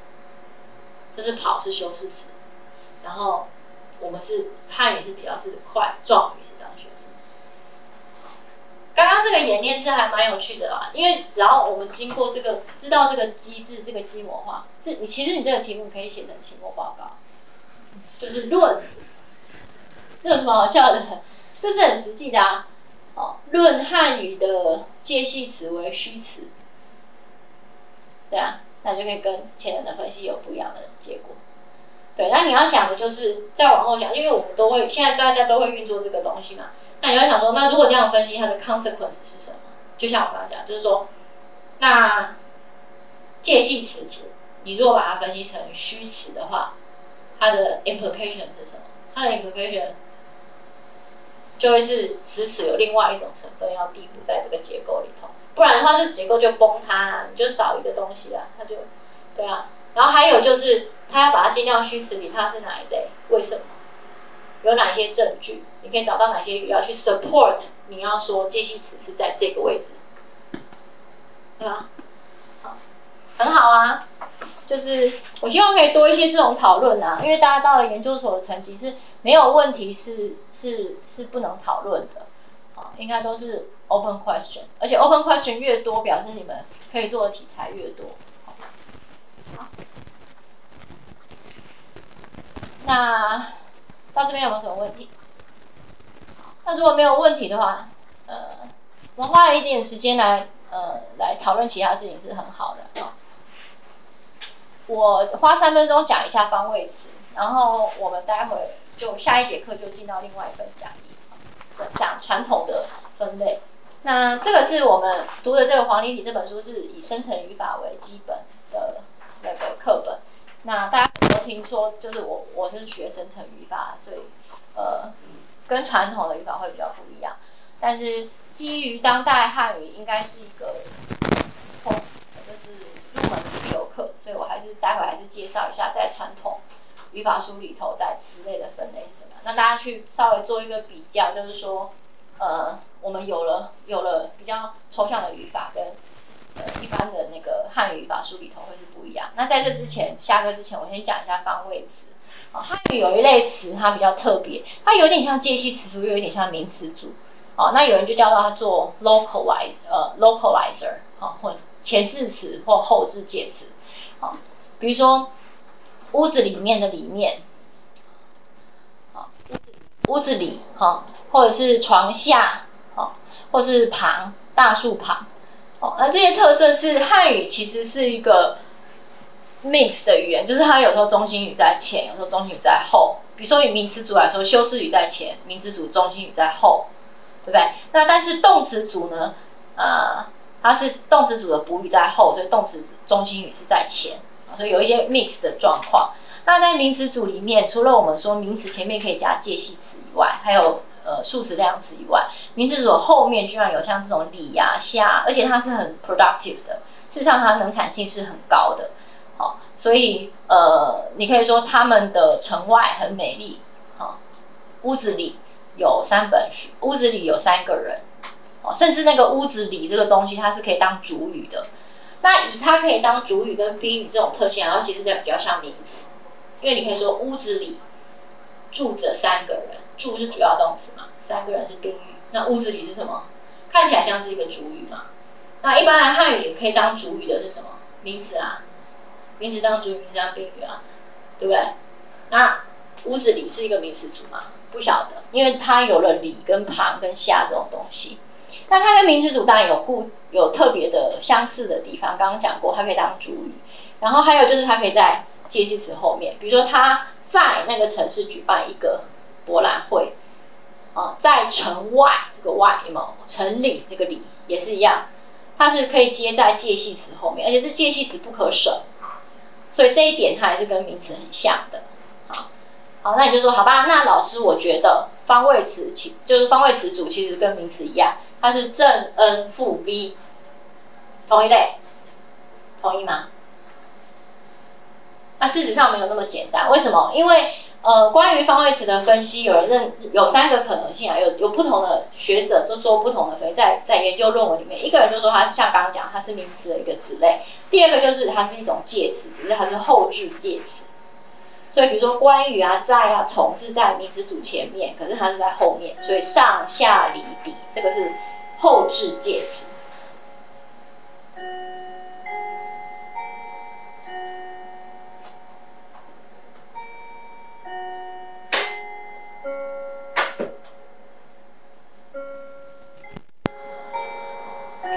第三种可能就是它是一种新的词类，就它是一个新的 category，我们没有办法归类它为名词，也没有办法归类它为介词，对吧？那我们现在就来检视它的行为，它的分布其实像刚刚讲的是像是名词的啦，因为它可以在介词后面，它可以当做主语，对吧？然后呢，它可以呃用名词来代称，它就可以用代词也可以，然后它不搭配量词，那因为它不搭配量词，所以它比较像介词，那这边就就，如果它是名词，那没有问题，它就是正 n 负 v 喽，对吧？如果它是介词，怎么样？就是负 n 负 v 喽，对不对？所以其实不会是那个 feature，我们不用考量它，因为它不会是问题。比较重要的是它到底是像什么那课本里头有用量词来反观它，哦，比如说我们会说一张床四条腿，可是床腿你会说四条床腿还是四张床腿？十三 a，其实你是会说四条。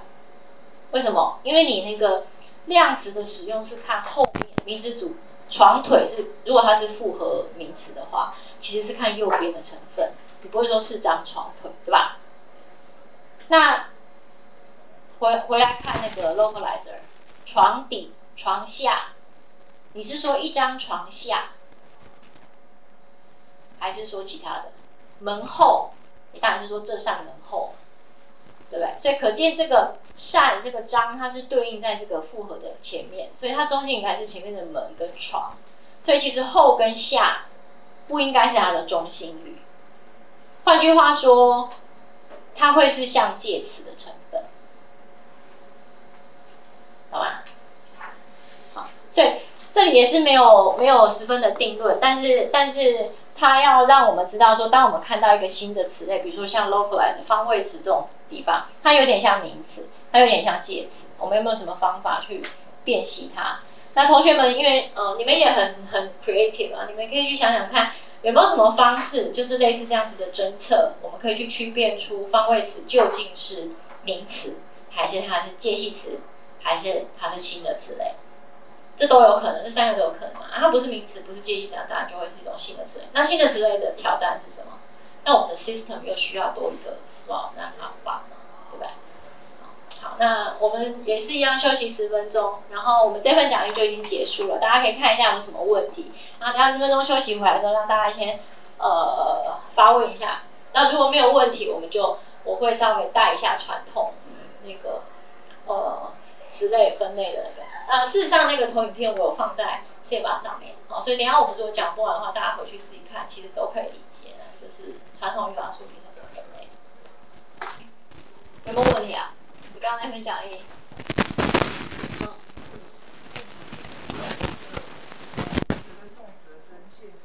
只要是它的那些特色都可以当做真性，还是嗯，它只有一种一个条件可以当做东西？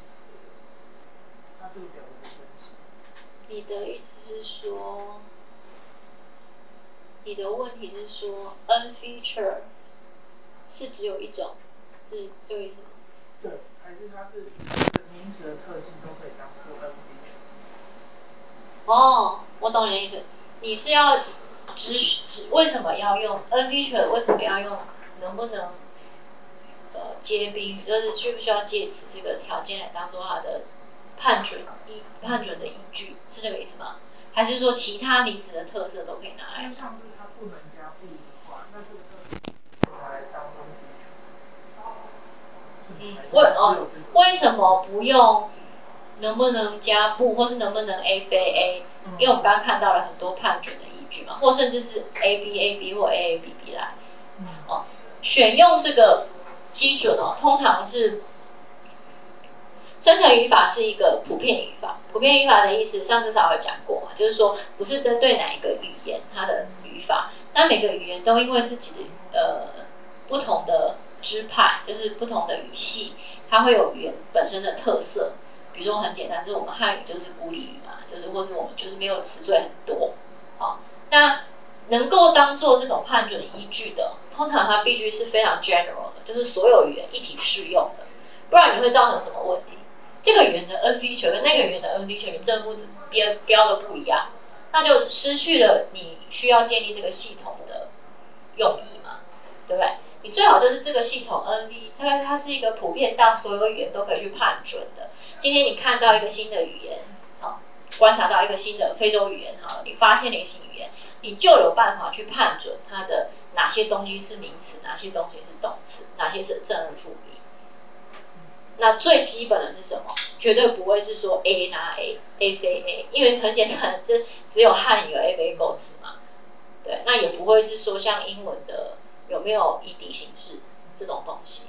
那我们当然知道是英语里面加 ed 的一定是动词，动词才加 ed，名词不会加 ed，对。但是这种你要选用这个判准，通常它是要抽象或者是 general 到一个程度，可以一体适用在所有的语言。那能不能后面直接加 be，这是一个很很基本的东西，会大家会认为比上你能不能加否定词这种东西更基本。那这个动词也是一样。因为一个句子里头一定要有要有谓语嘛，主谓结构是最基本、最最基本的那个句子结构。所以每一个语言的每个语句里面，基本上它都有谓语。所以这个词能不能当谓语，也是一个非常重要的判决。还有没有其他问题？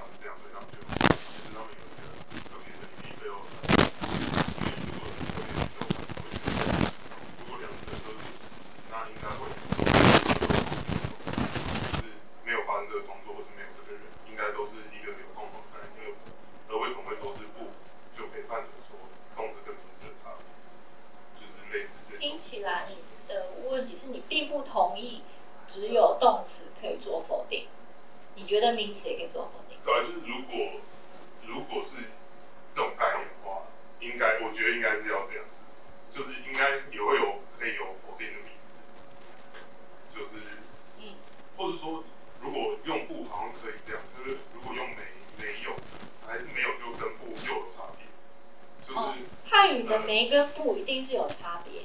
但是这个跟你的问题好像是是两个不同的问题。你的问题应该是为什么要用不去区别名词跟动词？因为可以区别这两个东西，表示一个是可用，一个是不可用，一个是正，一个是负，一个是是的，一个是非的。那这个判决依据才可以帮助我们去区别这两类。嗯对，那你刚刚的问题，没错，就是说为什么不可以来用来区别呃动词跟名词？嗯那首先你同不同意名词没办法加不？同意，好像对现象上是现象上是同意，对，嗯，那那如果是这样子，现象上就是你的确观察到不是只能用在动词，那为什么你会觉得否定不适合用在这个地方？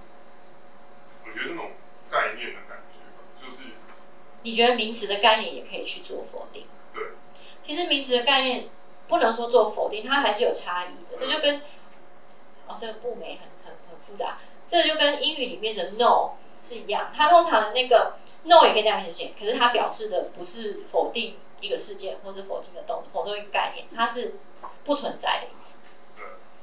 对，所以你可以说没有书在桌上，嗯那你也可以说，呃，老师不喜欢这本书，但你不会说老师没喜欢这本书，或是或是呃不书在桌上，你一定要用没有书。对，所以当这边它采用不的时候，其实它有一个不是说名词不能做否定，而动词可以做否定，而是说不这个标记它只能标记动词，不能标记名词。你当然可以说名词我可以去否定，可是它否定它必须要用没有啊，它它表不存在可以的，但是不会用不啊，所以他这边他判准的依据，他只是说不的测试，他并没有说是否定的测试。还有就是呃否定一件事件跟不存在是不是同样的概念，这个也是值得争议的。当你去否定一个名词组用英文的 no 的话，no books。其实它不是去否定书这个东西，它是讲不存在书在某个空间，它是不存在的概念。对，所以就是看看说你对于否定的定义是不是这样子。还有就是，我不认为课本有讲说用否定词可以去区别名词动词，那他是说用不标记来区别，就像他用 a n i 构词，对，他并不是说疑问句照在动词里，不是，他是说 a n i a 这个构词能够区别。名词跟动词，还有没有？我是想问关于谓语，就是谓语它是在所有语言里面大家都是有共性，它就是一个主语加一个谓语，嗯嗯，是是这样子。对，大部分几几乎没有语言是没有句子当中不用谓语的。那为什么就是感觉我们在学汉语理论的时候，主语谓语蛮重要的，可我们在学英文的时候，老师不太会强调谓语，他们就直接说哦动词加宾语啊。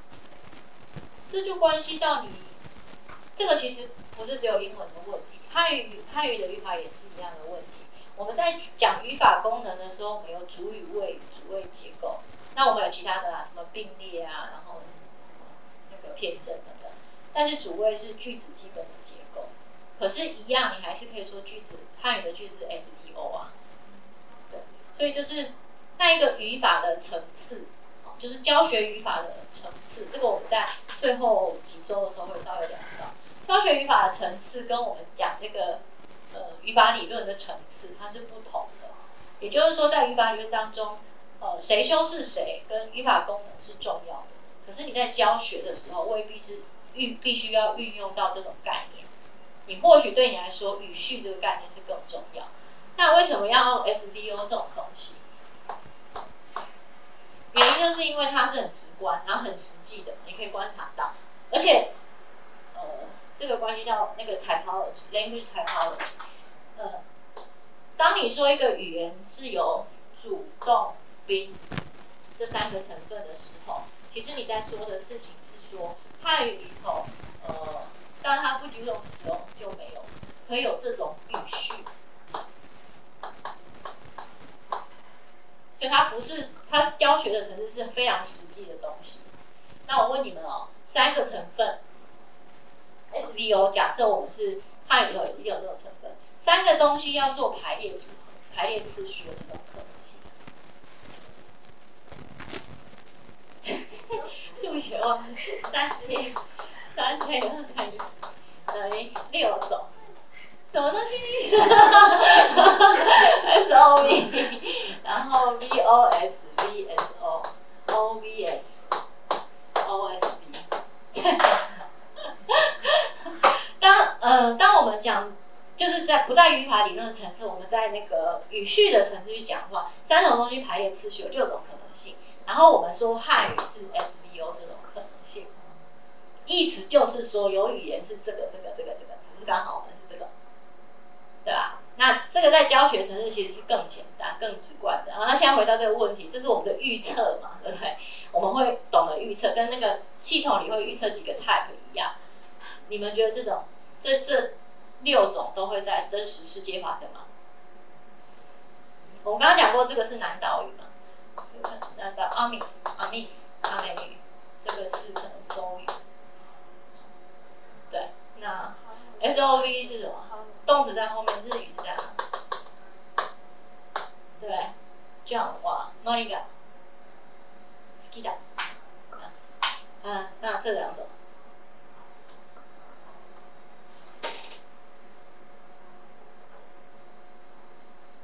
这这种语言是，这种语言是比较，这两种语言是数量上比较少见。我知道有一些。藏缅语，它可能是这两种其中一种，对。但不管怎么样，它的它讲的事情就是说，我们汉语是这种，英语也是这种，然后其实有其他的 possibility，但是它的 possibility 不是 equal 的，就是说，这世界上的语言，你可以想象这两种一定是非常少。为什么？因为它的宾语在前面，这是违反事件结构的一种陈述。你们如果读过戴哈伊老师的文章，你可以知道，那个汉语其实是时间次序的语言。所以你事件发生那个呃受事接收的事件一定是在后面，所以变 S B O 语言，而且这种语序是很多语言都这样。那这个却相对会比较少。为什么？这跟人人类对事件的认知有关系。你怎么会先去认知一个受词，或是一个接受这个事件物件的的人事物，然后把那个施事者放在后面？对，但是不是表示它不可能？逻辑上是可能的嘛？对吧？所以这还蛮有趣的嘛，就是说。你可以去讲，当你讲 SVO 汉语是 SVO 这种语序的时候，跟你讲我们有主谓结构，英语也有主谓结构，什么东西可以当谓语，这是完全 totally different，完全在讲不同的事情。那教学语法层次通常会用这个，原因是主谓动宾这个不好用啊，你跟学生说动宾，这个都是为了分析，为了为了我们做语法分析用。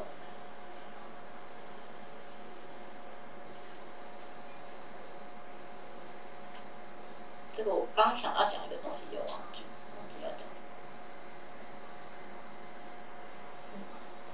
基本上，但你要知道逻辑上是可能的，这些语言是可能。好，没有问题了好，那我们很快的跑过这个词类的这个投影片哈，这基本上，嗯，对同学来说这不是太难的东西哈。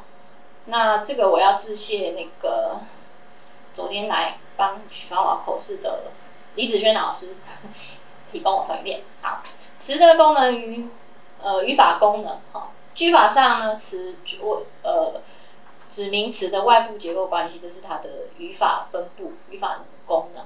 好，那语法功能上单独担任句法成分是实词跟虚词的基本分类。好，这是一基本呃一般语法书上面会讲的。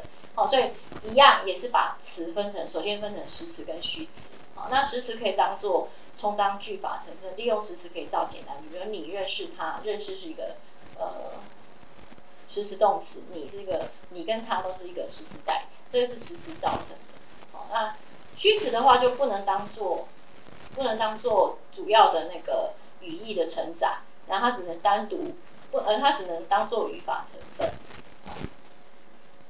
比如说你虽然认识他，但是他并不认识你。哦，刚刚那个你认识他，你加上虽然加上并加上不这些东西，都比较像是虚词的成分。哦，连接词也是。像妈爸也是。哈，你认识他妈，你认识他爸等等。哦，那名词，好，那个我们讲传统语法，它就是表列式的。哦，这个语言里面有名词、动词、形容词、副词，它就一直表列出来。那名词呢，都有哪些特色？它用数值量词修饰，然后不能用不。哦，这个跟我们刚刚讲的是一样的。然后在介词的后面，经常做主语、宾语，哈。然后呢，名词比较特殊的是，它有表时间表、处所、表方位，这就是我讲的。所以大家分几类，搞不好连名词里面都有时间名词、处所名词、方位等等。好，那这些东西，呃，当然它可以当主要就是可以当主语、谓语，好，主语呃对，主语、宾语。那动词的话，用副词修饰，哈，不或没有。这刚刚讲到一个否定，就是说我们刚刚说名词要用没有。事实上，汉语是可以一起出现的。比如说，他没有不喜欢汉当代汉语，他不喜欢当代汉语，可是他没有不喜欢当代汉语。没有的修饰层次是 I P，就是它比较大词组修饰，然后不是比较小，它是修饰动词，倒过来是不行。你说他没有不喜欢当代汉语，不可以说他不没有喜欢当代汉语。所以这是不跟没有在动词组层次的那个，这个我们叫做呃修饰泛语。大部分的动词都可以带宾语啊，哈，那少部分不能带宾语，在名词中构成主谓结构啊。好，所以动词是这样，然后常常可以加了着过，或者是后面可以加上起来、下去等等的动后哦补语，或者是一些呃体貌标记。然后也经常做谓语，然后还有跟动词相关的是刚刚讲的助动词，比如说能、愿助动词，可能哦，可能。啊，比如说能、能够、能、肯、敢这一类都是，还有会嘛，哈，还有该、应该、当、要这种，这这些它都是呃可以修饰动词，因为你可以加上呃后面可以加上动词，比如说来台北，你可以说你能来台北，他该来台北，他应该来台北等等，哈，那可以也可以当做呃谓语，也可以被不否定，这是等于助动词的部分。那趋向动词就是来去上下过这些的，它。当做动词或者是形容词的补语，好，所以你可以说拿过来、寄来等等，好。那判断动词就是所谓的系词，哈，是跟为。那形容词一般要用很或是不，如果没有的话，在汉语是不行的，好，就很冷、不热等等，哈。那注意那个很，有些人说是程度副词，但其实它没有没有一定程度，哈。然后有些能够重叠，修饰动词表程度的加强，比如说高高的举起来。那修饰名词也是比较轻微，比如说短短的头发。好，然后 A A B B 型跟 A B B 我们就不赘述了。那有些形容词可以修饰动词，然后它通常也可以当做非谓形容词。好，那非谓形容词在句中不能当做谓语哦，它的呃不能用不否定，有的可以用非，但是不能用不。哈，那接下来是数词，如果你把数目也当做一个名词的话，一个数词是一、五等等，那一的时候常常会省略。然后前面可以加上助词 d，然后 d 我们叫做 cardinal 哈，就是叙述哈，叙述的那个标记哈。然后后面也可以加上助词，比如说多吧，好，以上以下等等，表示概述哈。这个很有趣哦，那个 d 这种东西也是，比如说他买了第三栋房子，其实是奇异的，怎么说？序列哦三间房在里面，他买了第三栋房子，意思是说他买了排序第三的那栋房子。可是你如果说哈，西城买了第三栋房子，一直有可能是说他买了一栋，又再买一栋，又再买一栋，所以他总共有 total 三栋房子。可是这个都在地的语里面，哈。补充一下，那量词有那个明量词跟动量词的区分，它这里是说物量词、动量词是明量词、动量词。动量词像是什么？比如说个，我们一般是当做嗯。普通的量词嘛，对不对？那看你可以说他吃个饱，吃饱一次，这吃饱这个动作做一次，吃个饱等等，这个叫做动量词。好，那还这边还有一些例子，比如说看一下，说一遍，一下一遍是动量。好，他们是这样子去区分的。好，那有些人说它是补语啊，所以看你怎么去看。代词你我他，疑问代词谁这儿怎么样？只是代词这那，我刚刚讲过，这那是属于代词的一种用法。副词修饰形容词或动词，不能修饰名词。好，那程度、情状、语气三种副词。语气副词要就修饰全句，情状副词修饰动词，程度副词修饰形容词。好，那不能够单独回答啊，就是副词不能做单独回答，副词跟形容词也可以做做状语。状语就是语法功能哦，状语就是刚刚讲那个跑步，它慢慢的跑步，加上那个地的那种，啊，那也可以有时候当做定语。那虚词呢？汉语的词缺少形态变化，所以有很多虚词，呃，汉实词比较起来，虚词的位置没有那么固定哈。然后虚词在句法结构上也没有占太大的地位。如果你把它省略的话，其实句子不会变成病句，但是加上去之后会有语气跟其他转折，或者是其他的那个呃帮助语义的功能。好，那虚词的基本运作是连结跟附着哈。那虚词实词之间的不同关系有连词、介词、助词、语气词、叹词、象声词，这是我们讲的，就是说你 always 可以在列 naming。我常常讲哦，就是说有些人做语法分析哦，他就是去命名，比如说我命名汉语当中的叹词，啊，就好像这个分析做完，其实那个其实是。我觉得是很没有意义的啦，就是说，如果如果你的你的那个做汉语语法，你的你的分析是就是表列列举的话，那或是命名的话，其实它不算是一种分析，所以大家尽量题目报告的时候不要做这种事情啊，应该是不至于，对，尽量找有趣的题目啊。常见的建议是有表对象范围，比如说对对于关于表依据的根据依照表目的的为为了。啊，表时间的哦，就刚刚讲，就是你 always 可以表列出来很多东西。那当然比较有趣的会是它的呃实际上的用法哈。好，那不能充当谓语，即使带上名词也不能充当谓语，这是介词的一个特点。好，那这边有讲了，它是当动词的时候，有些介词它还没有它的实时语义还没有消失，所以它在句中还可以当谓语，比如说在，他在家。哦，那你知道在也可以当介词，比如说他在黑板写了几个字，好是 at 的意思。那但是你也可以当主要谓语，是他不在家，他在家。好，那其他也是一样，介词常常附着在名词、代词、动词的前面，哈，构成介词的结构。然后直接来修饰名词的是比较少。然后还有再像嗯，于到给这种东西。啊，它是直接附着在动词或其他词语的后面，构成一个整体。比如说走向胜利，献给人民。那连词连结连词做连接哈，有的是词组，有的是句子，都可以做连接。然后连接有两种，一种是并列的，一种是偏正的连接。好，那请问一下，并且是哪个层次的连接？并且是通常是大的，跟而且不一样。比如说她很漂亮，而且聪明。那你只有连接谓语漂亮跟聪明，可是他今天来上课，并且问了一大堆问题，他是动词组 I P 层次，他今天来上课，并且他今天问了很多问题，他是修饰比较大，但这都是并列。那非并列的，比如说什么？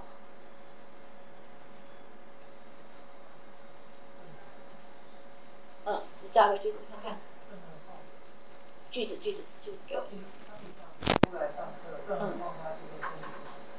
对对对，这就有一个主要子句跟一个附属子句，像这种情况就是所谓的呃偏正。OK，所以连接的方式有并列跟偏正两种差异，每一种连词连接的成分也有一定的关系。像汉语里头也是一样，说有和跟同语及呃而并或或者就 A 类，好，那呃 B 类是而，那通常这个 B 类它是表偏正。呃，它是呃连接词或连接词组，A 跟 B 是连接词或连接词组，好，那呃连接分句是下面这两类，好，不但而且或者你看看那个，然后还有因为所以虽然但是如果，像那种如果即使除非这都是偏正，虽然因为这都是偏正的结构，就是说它有一个主要子句，然后有一个表因表果表呃表呃假设的一个子句。啊这叫复句，复句就是跟单句对应。复句，副句的连接成分。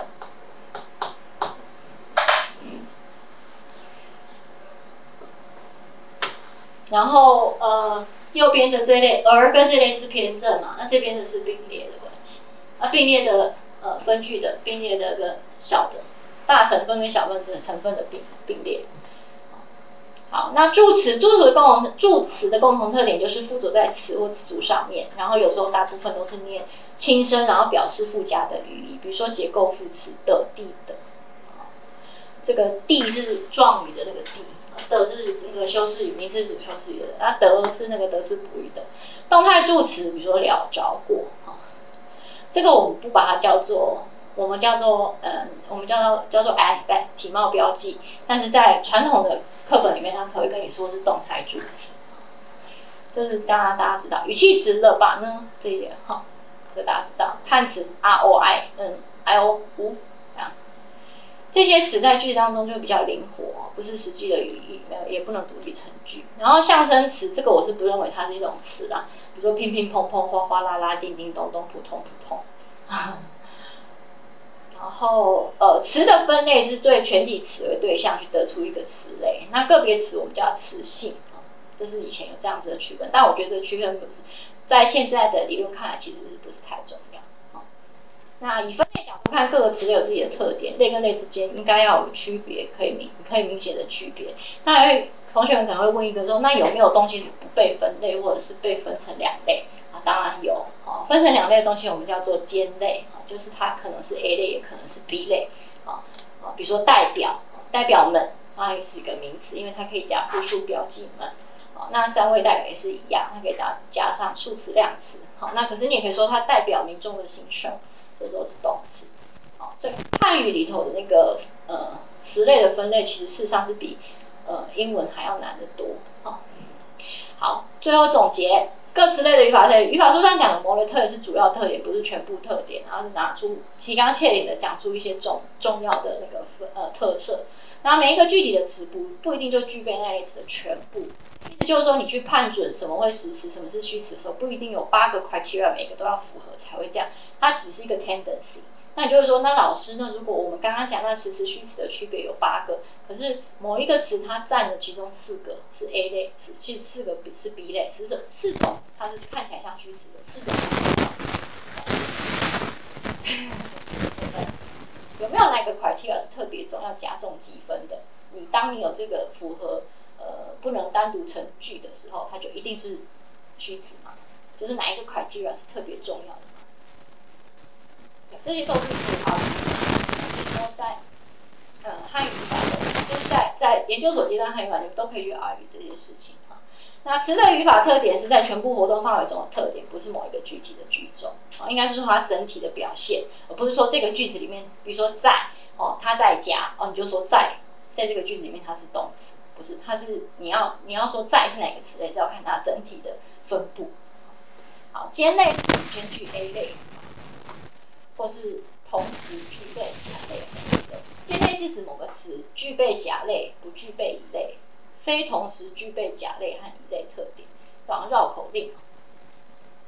其实我是不相信兼类这东西啊。如果我们刚刚看的那个分类的话，其实是没有兼类这种事情，就是说你要不就正 V 负 N，就是正 N 负 V，没有没有兼类，不是说它又正又负的，对，所以其实是，但是传统的里面是可以接受兼类。原因是因为你看，比如说丰富，它可能是一个像动词性的东西，可是它又可以加很，表示很丰富，所以它又好像是形容词，但是又好像是动词。你们知道一下就好。就但现在的理论其实是不需要这样子的。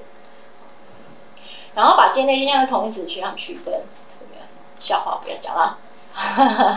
好，那以上就是在传统语法当中我们看到的跟呃词类比较有关的一些。基本概念，好，那同一篇跑的比较快，所以那个 C 宝上面我有上传了，好，你们如果想要复习，可以回去看。